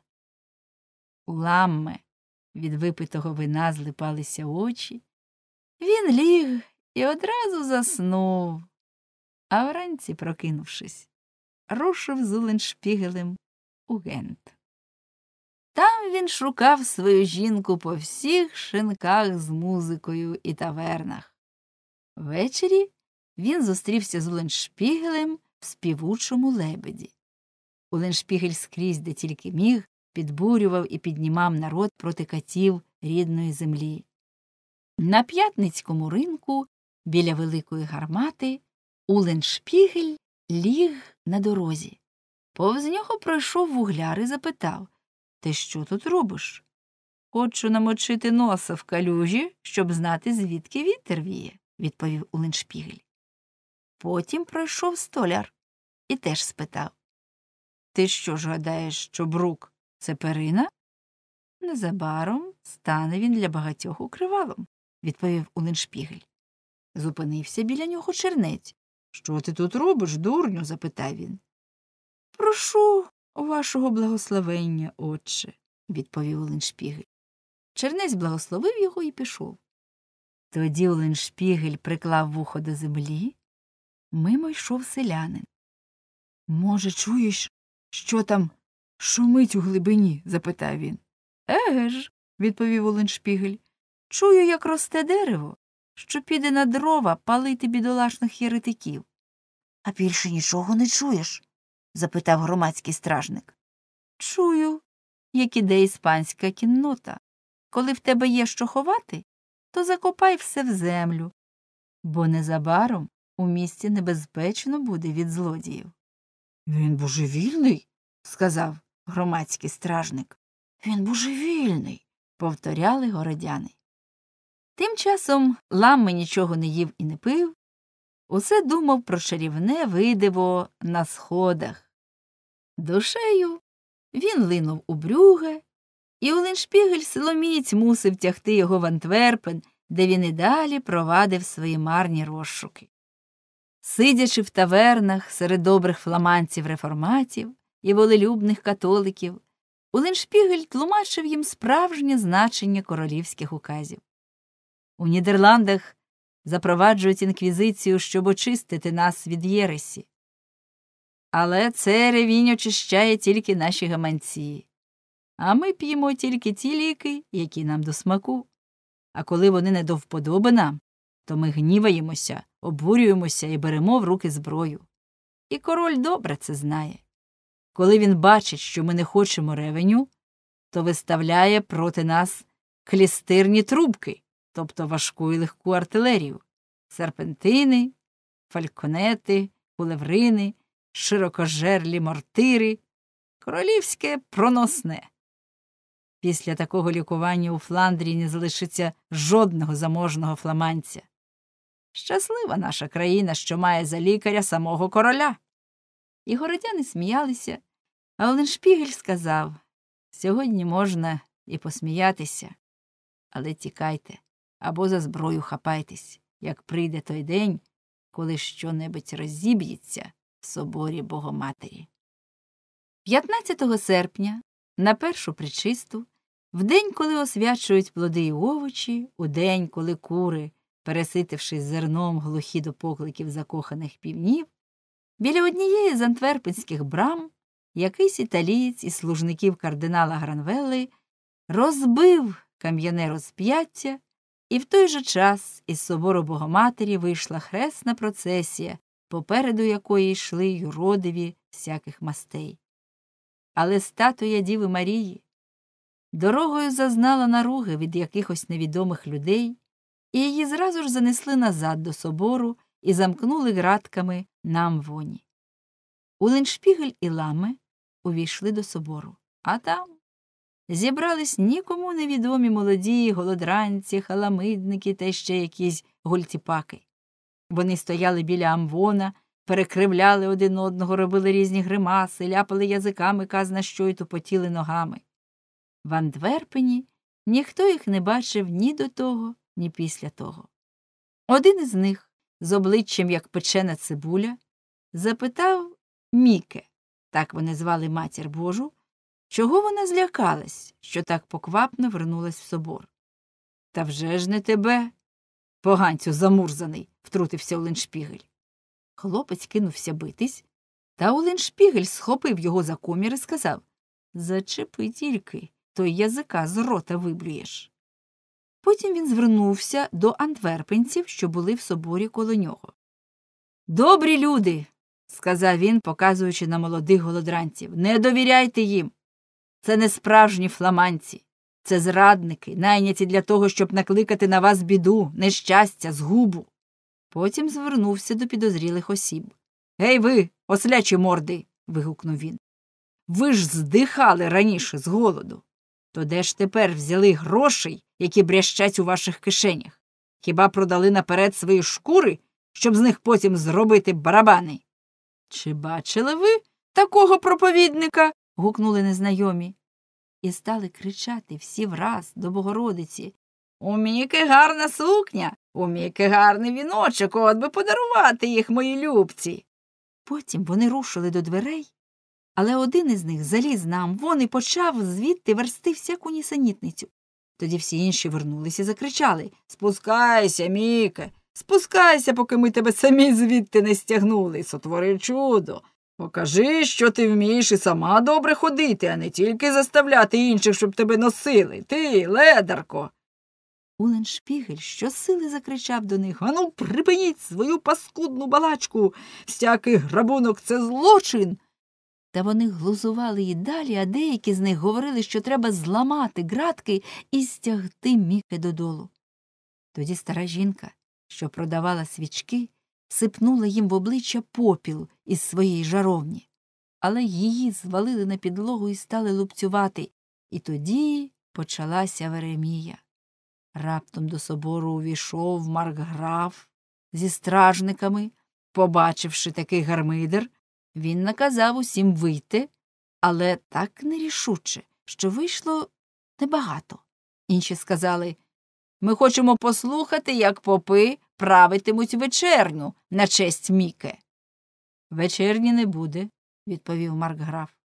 Тоді ми самі відправимо, заявили нікому невідомі голодранці.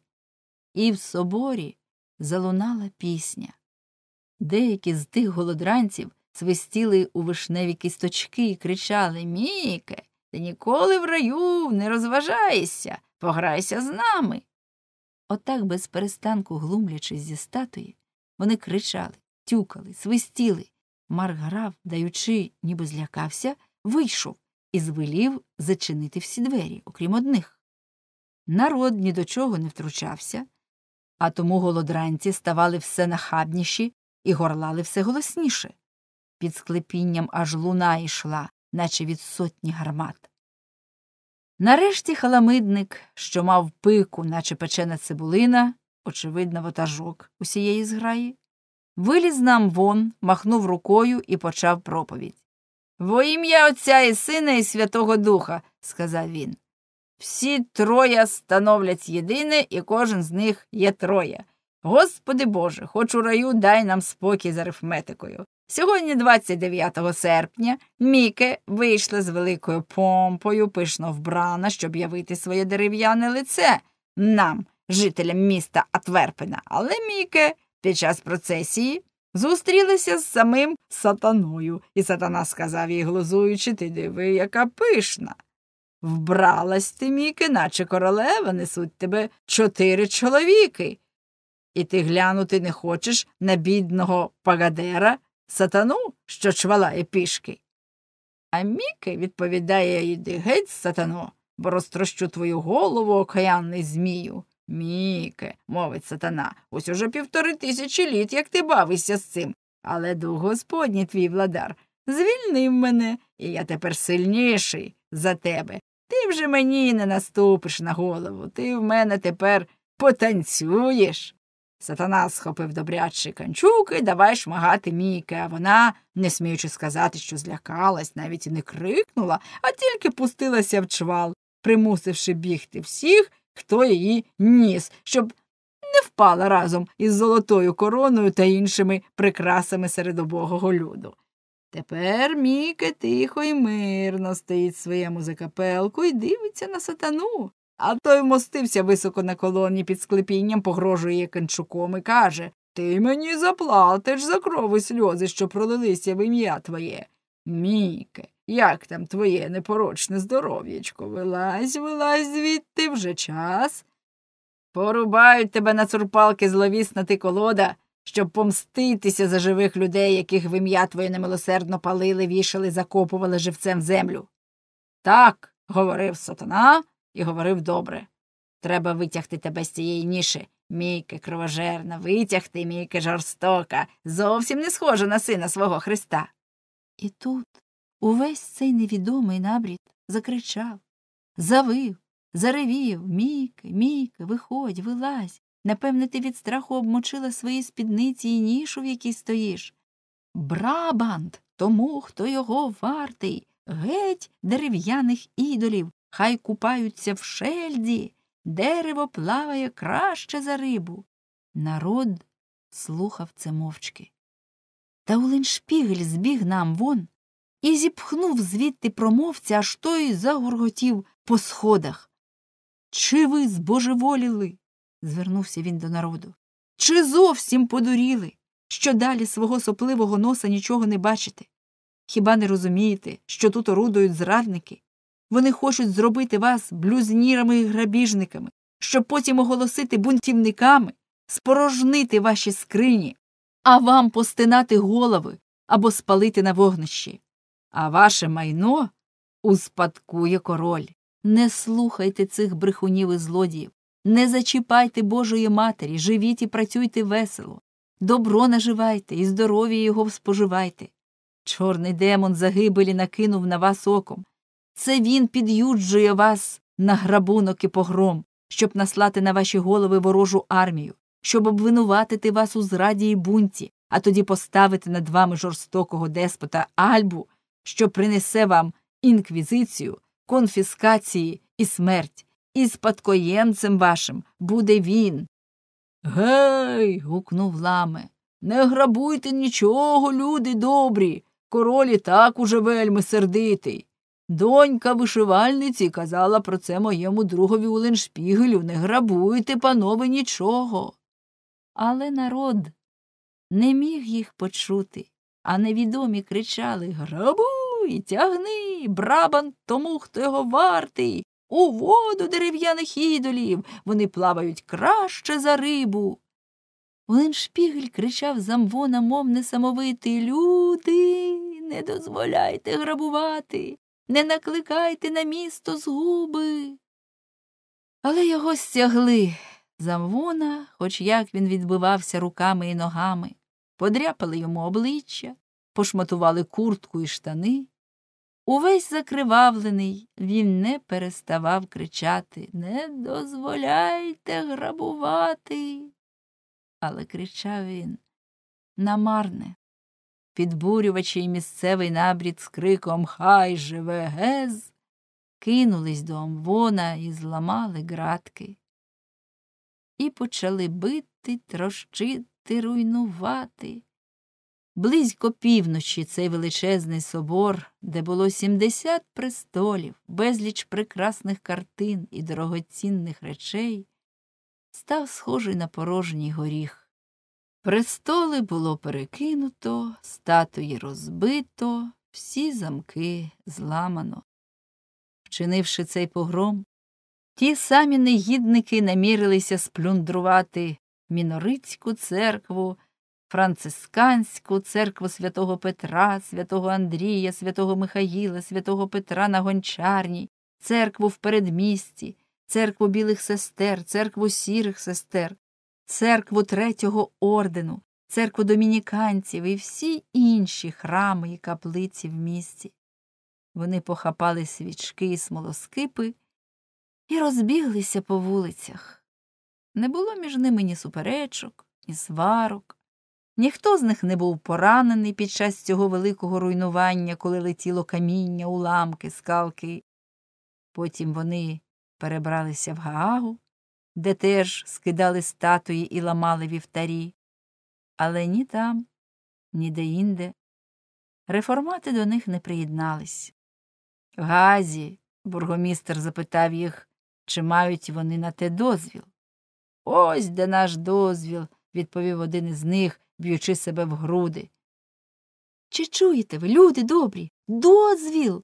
крикнув Леншпігель, довідавшись про це. Отже, є хтось такий, що може давати дозвіл чинити блюзнірства. Цікаво було б, якби до мене в хатину вдерся розбійник, а я, за прикладом гаагського бургомістра, звернувся б до нього шапочку знявши Мостивий пане злодію, вельмишановний грабіжнику, вельможний шахраю, покажіть мені ваш дозвіл. Він би мені сказав, що дозвіл у нього в серці, яке жадає мого добра. І тоді я віддав би йому ключі. Поміркуйте, добре, поміркуйте, кому на користь такий грабунок. Не йміть віри червоному псові. Злочин зроблено, треба, щоб злочинці були покарані. Не вірте червоному псові. Кам'яне розп'яття звалено, не вірте червоному псові. В Мехельні голова Великої Ради Вігліус заявив від імені Ради, що чинити перешкоди тим, хто розбиває церковні статуї, заборонено. Лихо нам. вигукнув Линшпігель. Настали жнива для іспанських жінців. Герцог, герцог іде на вас, фламанці. Море клекоче, море неситої злоби. Бідні жінки і дівчата, тікайте, бо закопають вас живцем, бідолашні чоловіки, тікайте від шибениць, від вогню, від меча. Філіп хоче довершити криваве Карлове діло. Батько сіяв смерті вигнання, а син заприсягся, що краще зробить з країни цвинтар і царюватиме над мертвими, аніж над єретиками. Тікайте, бо кат і гробарі недалеко. Народ слухав у Леншпігеля, і сотні родин покидали міста. Всі дороги захрясли возами з манатками втікачів. Улиншпігель ходив по країні з зажуреним ламе, який усе шукав свою кохану. А в дамме коло божевільної катліни плакала Неле. У жовтні місяці ячменю Уленшпігель зустрівся в генці з Егмондом, який вертався з гулянки в благородного абата Сен Бавунського. Він був у веселому настрої і замислено їхав ступою на своєму коні. Раптом він угледів якогось чоловіка, що йшов поруч нього з ліхтарем. Чого тобі треба? запитав Егмонд. Нічого, відповів Леншпігель. Просто хочу вам посвітити. Забирайся геть. крикнув граф. Не піду, сказав Оленшпігель. Закортіло скуштувати нагая? Хоч і десять, аби лиш засвітити в вашій голові таке світло, щоб вам було видно аж до самого ескоріала. Мені не світить і не гріє ні твій ліхтар, ні ескоріал, відповів граф. Зате мені, сказав Оленшпігель, аж пече, так хочеться дати вам добру пораду. І він узяв за вуздечку графового коня, який почав брикатися і спинатись дибки. Вельможний пане, знову почав Оленшпігель, подумайте про те, що ви тепер он як чудово гарцюєте на коні, а ваша голова ще краще гарцює на ваших плечах. Та кажуть, король хоче припинити цей гарний танець, залишить вам тіло, а голову зніме і відійшле танцювати в такі далекі краї, що ви її вже ніколи не дістанете. Дайте Флорина, я його заробив. А нагая не хочеш? Геть від мене, зловісний пораднику. Вельможний пане, я Уленшпігель, син класа, спаленого живцем на вогнищі і Сооткін, що вмерла від горя. Їхній попіл б'ється в мої груди і каже мені, що як Егмонд, хоробрий воїн, стане зі своїм військом супроти герцога Альби, то буде втричі сильніший за нього. Ану, геть від мене. крикнув Егмонд, я не зрадник. Врятуй країну, тільки ти це можеш, мовив Уленшпігель. Граф замахнувся на нього нагаєм, та Уленшпігель відскочив і крикнув Візьміть очі в руки, візьміть очі в руки, графе, рятуйте країну.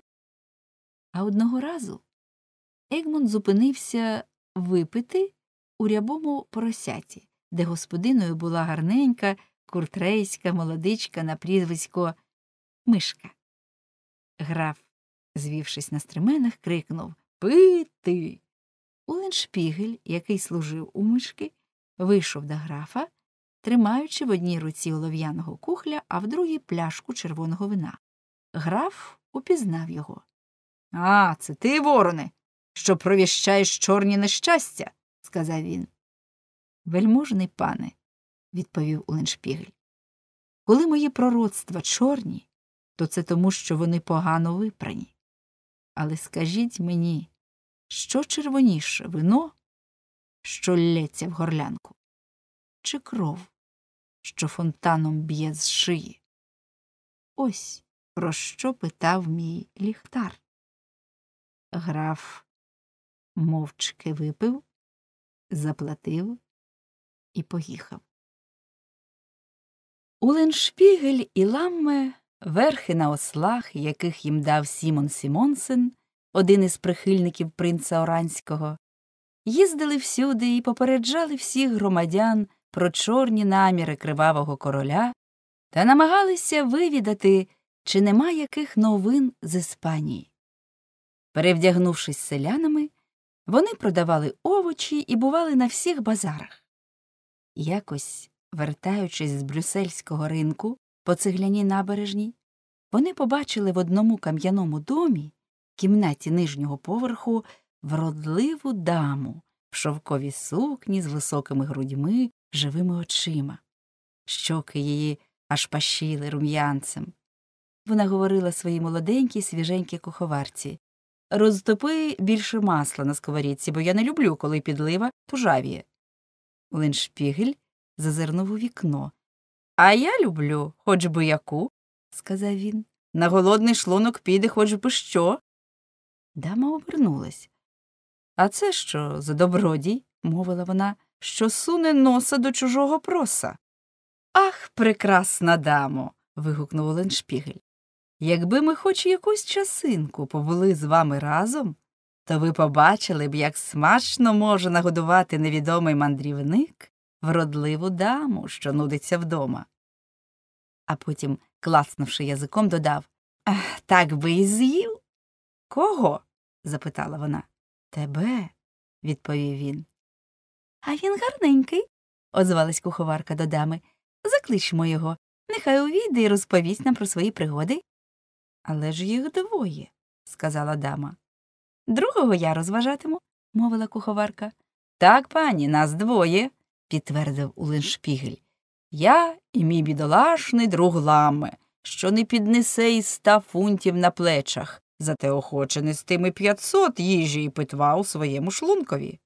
Сину мій, сказав ламе, не кипкуй з мене бідолахи, якому так дорого коштує наповнити свій шлунок. Сьогодні це тобі не буде коштувати і мовила дама. Заходьте зараз же обидва. Але ж у нас є і осли, на яких ми приїхали, зауважив ламе. В стайні графа Мегема буде чим не годувати їх, відповіла дама. Куховарка покинула плиту і завела Оленшпігеля і ламме у двір з їхніми ослами, і у дворі осли зразу ж заревіли. Це вони, зауважив Оленшпігель, дають гасло, що і обід не за горами. Бідні ослики аж сурмлять з радості. Вони обидва позлізали, і Оленшпігель мовив до куховарки Якби ти була ослиця, чи захотіла б такого осла, як я? Якби я була жінкою, відповіла вона, то була б не від того, щоб мати гарного хлопця. О, коли ти не жінка і не ослиця. Хто ж ти така? запитав ламе. Я дівчина, відповіла вона. А цнотлива дівчина це не жінка і не ослиця. Зрозуміло тобі, череваню? Леншпігель сказав до лами. Не вір їй, вона наполовину дівчина, наполовину повія, і в кожній четвертині її сидить по два дияволи. За її шури мури їй уже вготоване місце в пеклі, на постелі, де милуватиме її сам Вельзевул. От капусний глузій, мовила куховарка. Та якби матрац на тій постелі був набитий твоїм волоссям, і то я не лягла б на нього. А я з'їв би тебе геть усю з волоссям. Підлеснику, втрутилась дама. Що ж, ти хочеш мати всіх жінок? Не всіх, відповів Леншпігель. Досить було б і тисячі, якби вони злилися в одну таку, як ти. Спочатку, сказала дама, випий кухоль пива, закуси шинкою, візьми собі шматок баранини, розріж цього пирога, скуштуй салату. Леншпігель склав руки на грудях. Шинка, сказав він, гарна річ, пиво, небесний трунок, баранина, божественна їжа. Коли ріжеш пиріг, то аж язик тремтить у роті від задоволення. Соковитий салат це королівська страва, але тричі блаженний буде той, кому ви на закуску дасте свою красу. Годі версти казна що. вигукнула дама. Ти спершу наїшся, негіднику. А чи не проказати нам спочатку молитву? запитав Леншпігель. Ні, була відповідь. Ламме заскиглив. Їсти хочеться. Зажди трохи, скоро наїсися, мовила прекрасна дама. Тобі тільки їжа в голові. Еге ж, і притому свіжа, як моя жіночка. Куховарка при цьому аж скривилась. Проте всі вони добре наїлися, напилися, а крім того, Леншпігель дістав ще й вночі жадану закуску і другого дня, і в наступні дні без відмови. Осли мали подвійну порцію вівса, а ламме подвійні обіди. Цілий тиждень він не вилазив з кухні, але втішався тільки стравами, а не куховаркою, бо мріяв про свою жінку. Це сердило дівчину. І вона казала, що не варто обтяжувати бідну землю тому, хто думає тільки про своє черево. А тим часом Уленшпігель і дама жили душа в душу. Одного разу вона йому сказала Тілю, ти не вмієш пристойно поводитись. Хто ти такий? Я, сказав він, син щасливого випадку і доброї пригоди. Ти, як видно, догани собі не робиш, мовила дама. Боюся, щоб інші не перехвалили, відповів Линшпігель. Хочеш стати на захист скривджених братів? Попіл класів б'ється в мої груди, сказав Леншпігель. О, ти, хлопець, зуг, мовила вона. А хто такий клас? Мій батько, спалений на вогнищі за віру, відповів Леншпігель. Граф Мегем не схожий на тебе, сказала дама. Він ладен залити кров'ю мою батьківщину, адже я народилася в славному місті Антверпені. Отож знай, що він змовився з брабанським радником з Хейфом послати в Антверпен десять загонів піхоти. Я негайно дам про це знати антверпенцям. гукнув Леншпігель. Помчу, як вітер. І він, не гаючись, вирушив. Другого дня всі городяни були вже при зброї. У Леншпігелі Ламме поставили своїх віслюків на одній із ферм Сімона Сімонсена, а самі мусили ховатися від графа Мегема, який наказав шукати їх усюди, щоб повісити, бо йому донесли, що два яретики їли й пили в нього. Він був дуже ревнивий і став допитуватися про них у своєї прекрасної дружини, яка аж зубами скриготіла від гніву, плакала, сімнадцять разів зомлівала. Куховарка, хоч і зомлівала, але не так часто, і присягалася спасінням своєї душі, своїм місцем в раю, що ні вона, ні пані не дозволили собі нічого зайвого, хіба що віддали рештки обіду двом голодним прочанинам, що їхали верхи на зморених ослах, і зазирнули в кухонне вікно. Цього дня вони пролили стільки сліз, що аж підлога змокріла. Побачивши це, граф Мегем упевнився, що вони таки не брешуть. Ламме і нишком не наважувався відвідати куховарку, бо вона глузувала з його любові до жінки. Він засумував, згадуючи ситну їжу, та Олен Шпігель почав носити йому ласі шматки. Він пробирався в дім до графа Мегема з вулиці Святої Катерини і ховався на горищі. Одного вечора граф Мегем сказав дружині, що вранці він виступає зі своєю кіннотою до міста Буали-Дюк. Потім він пішов спати, а прекрасна дама побігла на горище і розповіла усе Уленшпігелеві. Уленшпігель одягнувся пілігримом і без харчівих грошей негайно вирушив в Буаледюк, щоб попередити городян про небезпеку. Він сподівався дорогою взяти коня Ієроніма Праата, Сімонового брата, до якого були в нього листи від принца, а звідти податися навпростець до Буаледюка. Вийшовши на шлях, він побачив загін солдатів і злякався за листи. Але, вирішивши, що при такій нещасливій зустрічі найкраще буде вдавати з себе дурня, він зупинився і почав бурмотіти молитви. Коли солдати порівнялися з ним, він пішов збоку і довідався, що вони йдуть в Буаледюк. Попереду йшов валонський загін на чолі з капітаном Ламотом і шістьма алебардниками охорони.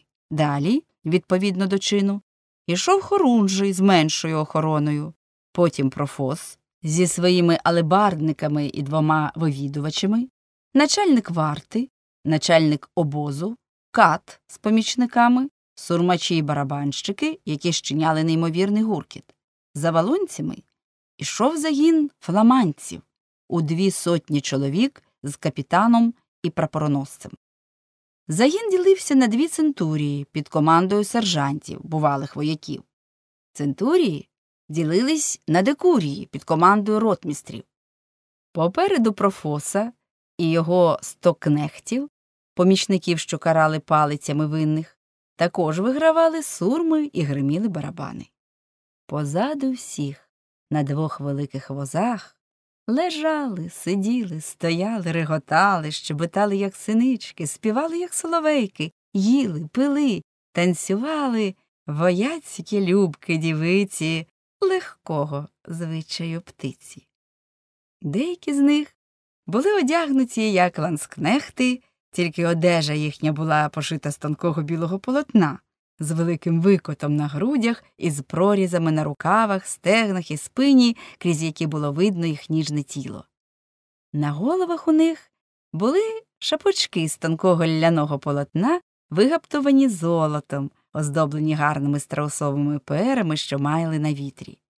На поясах, гаптованих золотом і червоним шовком, висіли піхви золотої парчі для кинджалів. Їхні черевички, панчохи, шаровари, куртки були з білого шовку, а шнурки і застіпки золоті. Інші також були одягнуті в ланскнехтську форму, але різних кольорів синю, зелену, бордову, голубу, червону, з прорізами, вишивками, гербами, як кому подобалось. У всіх на рукавах був кольоровий кружечок, ознака їхньої професії. Їхній наглядач хотів утихомирити дівчат, але вони зовсім не слухалися і своїми милими гримасами і словечками примусили його сміятися. Одягнутий пілігримом, Уленшпігель чимчикував собі поряд із військом, немов би човник з боку великого корабля. Раптом Ламот запитав його А ти куди йдеш, прочанине? Пане капітане, відповів голодний Уленшпігель, колись я вчинив великий гріх, і капітул собору Богоматері наклав на мене покуту піти до Рима пішки і просити відпущення в папи. Святий отець дав мені відпущення з умовою, щоб я повернувся на батьківщину і проповідував слово Боже усім солдатам, яких зустріну де по дорозі, а ті повинні за мої проповіді поїти й годувати мене. Так, проповідуючи, я і підтримую нужденне своє життя. То чи не дозволите мені на найближчому привалі виконати свою обітницю? Дозволяю, сказав Ламот. Уленшпігель по товариському втиснувся між валонців та фламандців, раз у раз мацуючи куртку чи на місці листи. Дівчата йому гукали Гей, пілігриме, гарненький пілігриме, йди на сюди, покажи, чи добрий з тебе.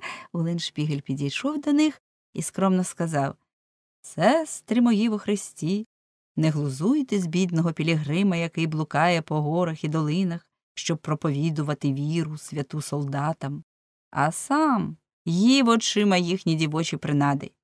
Свавільні дівчата пускали йому бісики і кричали Ти ще замолодий, щоб повчати солдатів. Лізь до нас, ми тебе навчимо веселішої розмови. Оленшпігель з великою охотою скочив би до них, та боявся за листи. Двоє дівчат простягли йому свої білі повні руки, щоб витягти його на воза. Бережись, голову розіб'ю. гукнув один сержант, кидаючи Оленшпигелю напіввипиту пляшку. Уленшпігель схопив ту пляшку і, п'ючи вино невеличкими ковтками, вів далі. Хоч гострий, нестерпний голод і згубний для нашого тіла, але є речі більш згубні, чого бідний прочанин дуже боїться. Щедрі солдати дають йому хто шматок шинки, хто пляшку пива, а прочанин мусить бути здержливим, бо коли вип'є наче серце, то одразу ж і вп'ється. Не встиг він цього сказати, як упіймав на лету гусячу лапку. Оце вже справжнє чудо. гукнув він. Уловити в повітрі рибу, що водиться на сухому. Але дивіться, від неї вже і кісток нема. Що буває ненаситніше, ніж сухий пісок, безплідна жінка і голодний шлунок. Нараз Оленшпігель відчув, що його щось коле ззаду. Він обернувся і побачив прапороносця.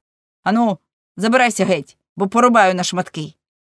І Уленшпігель слухняно відійшов, але здалеку він поглядав крадькома на свіжих дівчаток, осяяних яскравим промінням сонця. Тим часом дійшли до Бергема.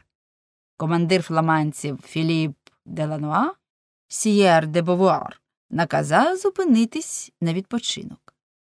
Тут стояв невисокий дуб. Віти його були зрубані, а одна найтовща гілляка зламана до половини. На ній минулого місяця повісили Анабаптиста. Солдати зупинились.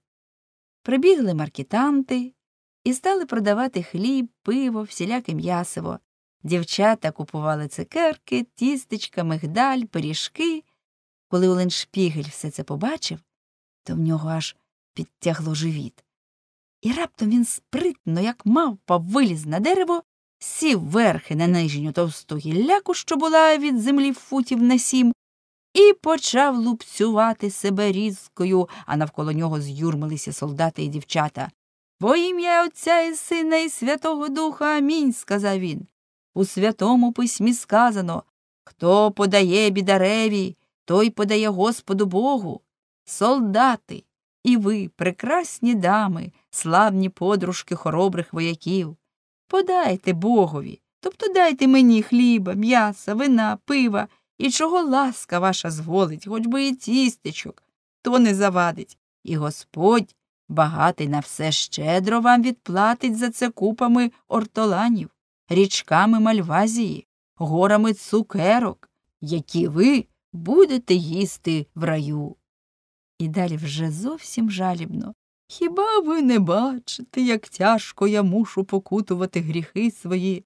Невже ви не полегшите моїх страждань від оцієї різки, що зранила до крові мої плечі? Що це за божевільний? питали солдати один одного. Друзі мої, відповів Леншпігель, я не божевільний, я тільки покутник, і то дуже голодний. Поки дух мій плаче від гріхів, шлунок мій плаче від голоду. Блаженні вояки, і ви, прекрасні дівчата, я бачу там у вас жирну шинку, гуску, ковбасу, вино, пиво, пиріжки. Невже не дасте нічого бідному Пілігримові? Дамо, дамо. загукали фламандські солдати. У цього проповідника славна пика. І почали кидати йому шматки їжі, немов м'ячі. Уленшпігель їв, сидячи верхи на гілляці, та все примовляв Голод робить людину тупою і нездатною до молитви, а шинка одразу проганяє поганий настрій. Гей, Пілігриме, невже знехтуєш баранячим стегном? гукав прапороносець, простягаючи йому на вістрі алебарди добрячий шматок. Уленшпігель взяв його і сказав От ми і квити. Краще я встромлю зуби в це стегенце, ніж ти стромлятимеш гостряк у моє. Я зроблю з тієї кістки сопілку і заграю на ній.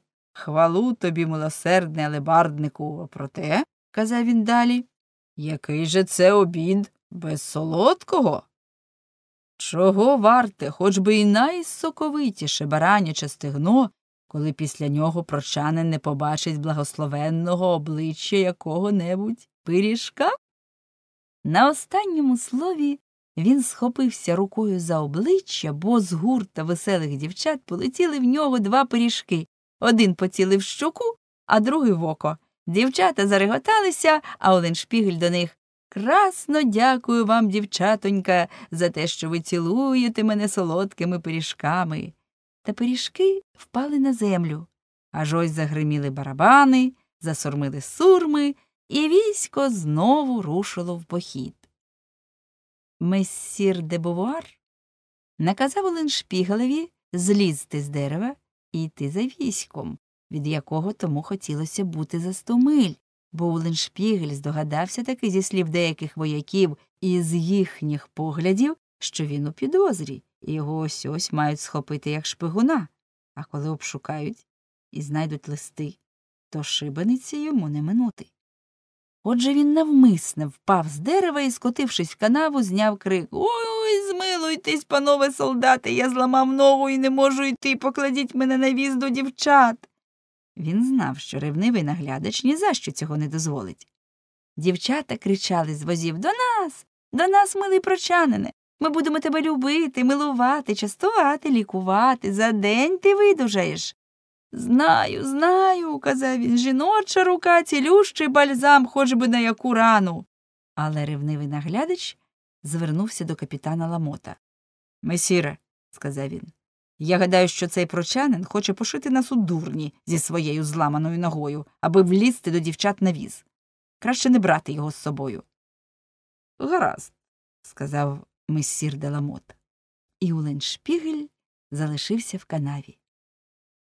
Деякі солдати думали, що він таки справді зламав ногу, а що з нього був веселий хлопець, то й пожаліли його і залишили йому їжі і питва днів на два. Дівчата охоче допомогли б йому, але не було спромоги, зате вони кинули йому рештки солодощів. Коли військо зникло з очей, бідолашний каліка схопився, мов опечений, і чим дуж гайнув уперед. Незабаром він купив коня і, як вітер, помчав у буали дюк. Городяни, почувши, що на них ідуть бувуар і ламот, негайно озброїли загіну 800 чоловік, вибрали начальників, а Уленшпігеля, переодягнутого вуглярем, послали в Антверпен до Геркулеса Гульвіси графа Бредероде по допомогу. І військо месірів Ламота і Бувуара так і не увійшло в Буаледюк, бо місто було насторожі і готове до мужньої оборони. Місяць по тому один лікар на імення Агілеус дав Оленшпігелеві два флорини і листи, з якими він повинен був їхати до Сімона Праата, а той мав йому сказати, що робити далі. Уленшпігель знайшов там і добрі харчі, і притулок. Сон його був спокійний, як його квітуче обличчя, а праат, навпаки, був кволий, немічний і, здавалось, завжди заглиблений у невеселі думки. Уленшпігель, випадково прокидаючись уночі, завжди чув стукіт молотка, і це його дивувало. Хоч би як він рано встав, Сімон Праат був уже на ногах раніше від нього, і щоразу все більше марнів, все смутніші були його очі, які блищали, наче в людини, що готується до смерті або до бою.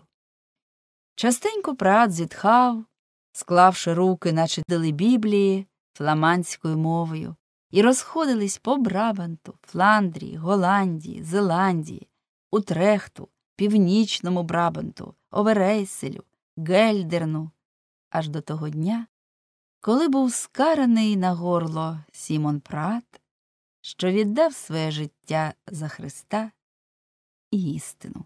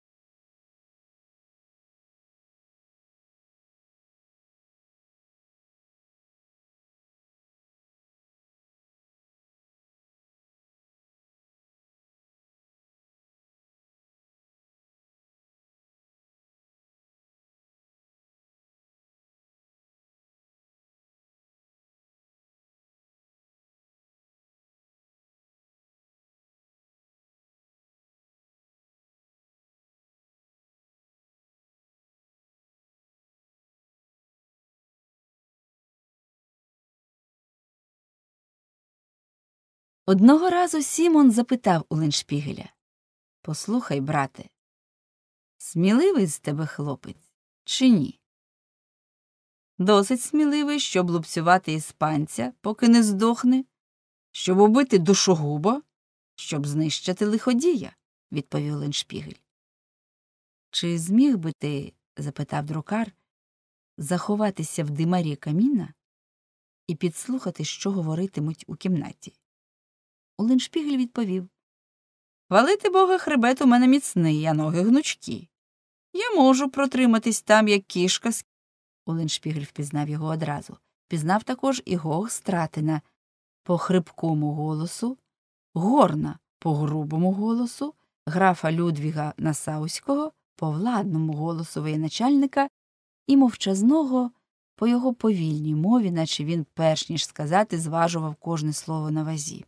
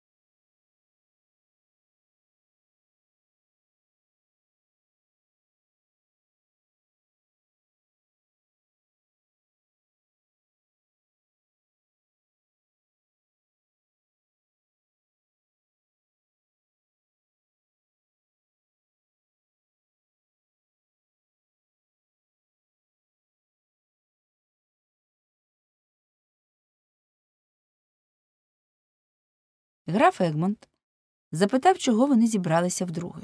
Хіба в Гелегаті вони не мали часу вирішити все, що треба зробити? Час лине швидко.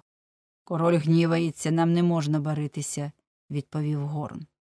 Тоді озвався мовчазний. Країна в безпеці. Треба захищатися проти навали ворожих армій. Егмонт схвильовано промовив, що він дивується, чому король їхній володар вважає за потрібне посилати сюди військо, коли тут панує спокій, про який дбає дворянство, ну і, звичайно, він сам Егмонт. Мовчазний зауважив у Філіпа в Нідерландах 14 військових частин. Всі вони віддані тому, хто командував ними під Гравеліном і Сен-Кантеном. Не розумію, озвався Егмонт. Принц вів далі. Більше я нічого не скажу, але зараз вам, графе, і всім вам, панове, прочитають листи нещасного в'язня Монтіньї. У цих листах месір де Монтіньї писав Король надзвичайно обурений тим, що трапилося в Нідерландах, і як прийде час, він покарає призвідців заколоту. Тут граф Егмонт сказав, що йому холодно і що слід би затопити камін. Поки два сеньори говорили про листи, камін затопили, але дрова не горіли, бо димар був туго заткнутий, і весь дим пішов в кімнату. Потім граф Гогстратен, кашляючи, прочитав листи іспанського посланника Алави, адресовані до правительки. Посланник пише, казав він, що в нідерландських заколотах винні троє принц Оранський, граф Егмонт і граф Горн. Але треба тим часом, пише він далі, вдавати, ніби їм довіряють, і ніби король думає, що втихомиренням Нідерландів він завдячує тільки їм. Що ж до інших двох сеньорів Монтіньї і Бергена, то вони там, де їм і слід бути. Охо-хо, подумав Улиншпігель. Вже краще задимлений комен у Фландрії, ніж свіжа тюрма в Іспанії, бо там із кожної щілини вогкої стіни виростають зашморги. Далі посланник пише, що король сказав у Мадріді заколотами, що сталися в Нідерландах, підірвано нашу королівську владу, зганьблено святість релігії, і може виникнути небезпека і для інших наших земель, якщо ми не покараємо заколотників. Ми вирішили особисто прибути в Нідерланди і вдатися по допомогу до папи і до імператора. Під теперішнім золом лежить майбутнє благо. Ми примусимо Нідерланди до цілковитої покори і згідно з нашою волею змінимо державний лад, віровизнання і урядування. Ах, короле Філіппе, подумав Оленшпігель, коли б я міг по своїй уподобі змінити тебе, то під моєю фламандською палицею так би славно змінились твої ребра, ноги і руки. Я прибив би твою голову двома цвяхами посеред спини, щоб побачити, чи зможеш ти тоді, дивлячись на кладовище, яке б по собі залишив, співати пісню про свої тиранські порядки. Принесли вино. Гогстратен встав і промовив Я п'ю за вітчизну. Всі випили, а він поставив свій порожній келих на стіл і додав Настали важкі часи для бельгійського дворянства. Треба обміркувати, як ми будемо оборонятись. Чекаючи на відповідь, він подивився на Егмонта, але той не сказав нічого. Тоді промовив мовчазний. Ми дамо відсіч, якщо Егмонт, який двічі під Сен-Кантеном і Грамеліном примусив тремтіти Францію, який має в своїй владі фламандських солдатів, допоможе нам і не допустить іспанської навали в нашу країну. Граф Егмонт відповів на це. Я надто шаную короля, щоб припускати, ніби він хоче примусити нас узятися за зброю і повстати проти нього. Хай ті, хто боїться його гніву, відступаються від нього. Я залишаюсь, бо не можу без нього жити. Філіп уміє жорстоко мститися, зауважив мовчазний. Я йому довіряю, сказав Егмонт. Навіть і голову? запитав Людвіг Насауський. Все, відповів Егмонт, і голову, і тіло, і своє вірне серце. Все належить королю. І я з тобою, мій друже, сказав Горн. Мовчазний зауважив. Треба передбачати, а не чекати. Тоді граф Егмонт гнівно крикнув Я повісив у грамонні двадцять двох реформатів. Якщо реформати припинять свої проповіді, якщо будуть покарані іконоборці, гнів короля втихомириться. Мовчазний сказав Це кепська надія. Озброїмося довірою, мовив Егмонт. Озброїмося довірою, повторив Горн. Залізом треба озброюватися, а не довірою. вигукнув Гогстратен. Після цього мовчазний дав знак, що відходить. Прощавайте, принце, без землі, сказав Егмонт. Прощавайте, графе, без голови, відповів йому мовчазний. Барана чекає різник, а воїна, що рятує вітчизну, слава, мовив Людвіг Насауський. Я не можу і не хочу, сказав Егмонт. Улиншпігель подумав нехай же кров невинних жертв упаде на голову придворного блюдолиза. Сеньори розійшлися. Тоді Уленшпігель виліз із каміна і поспішив з новинами до прата. Егмонт зрадник, сказав прат. Господь з принцом. А герцог Альба? Він уже у Брюсселі. Прощайтесь тепер з вашими скринями.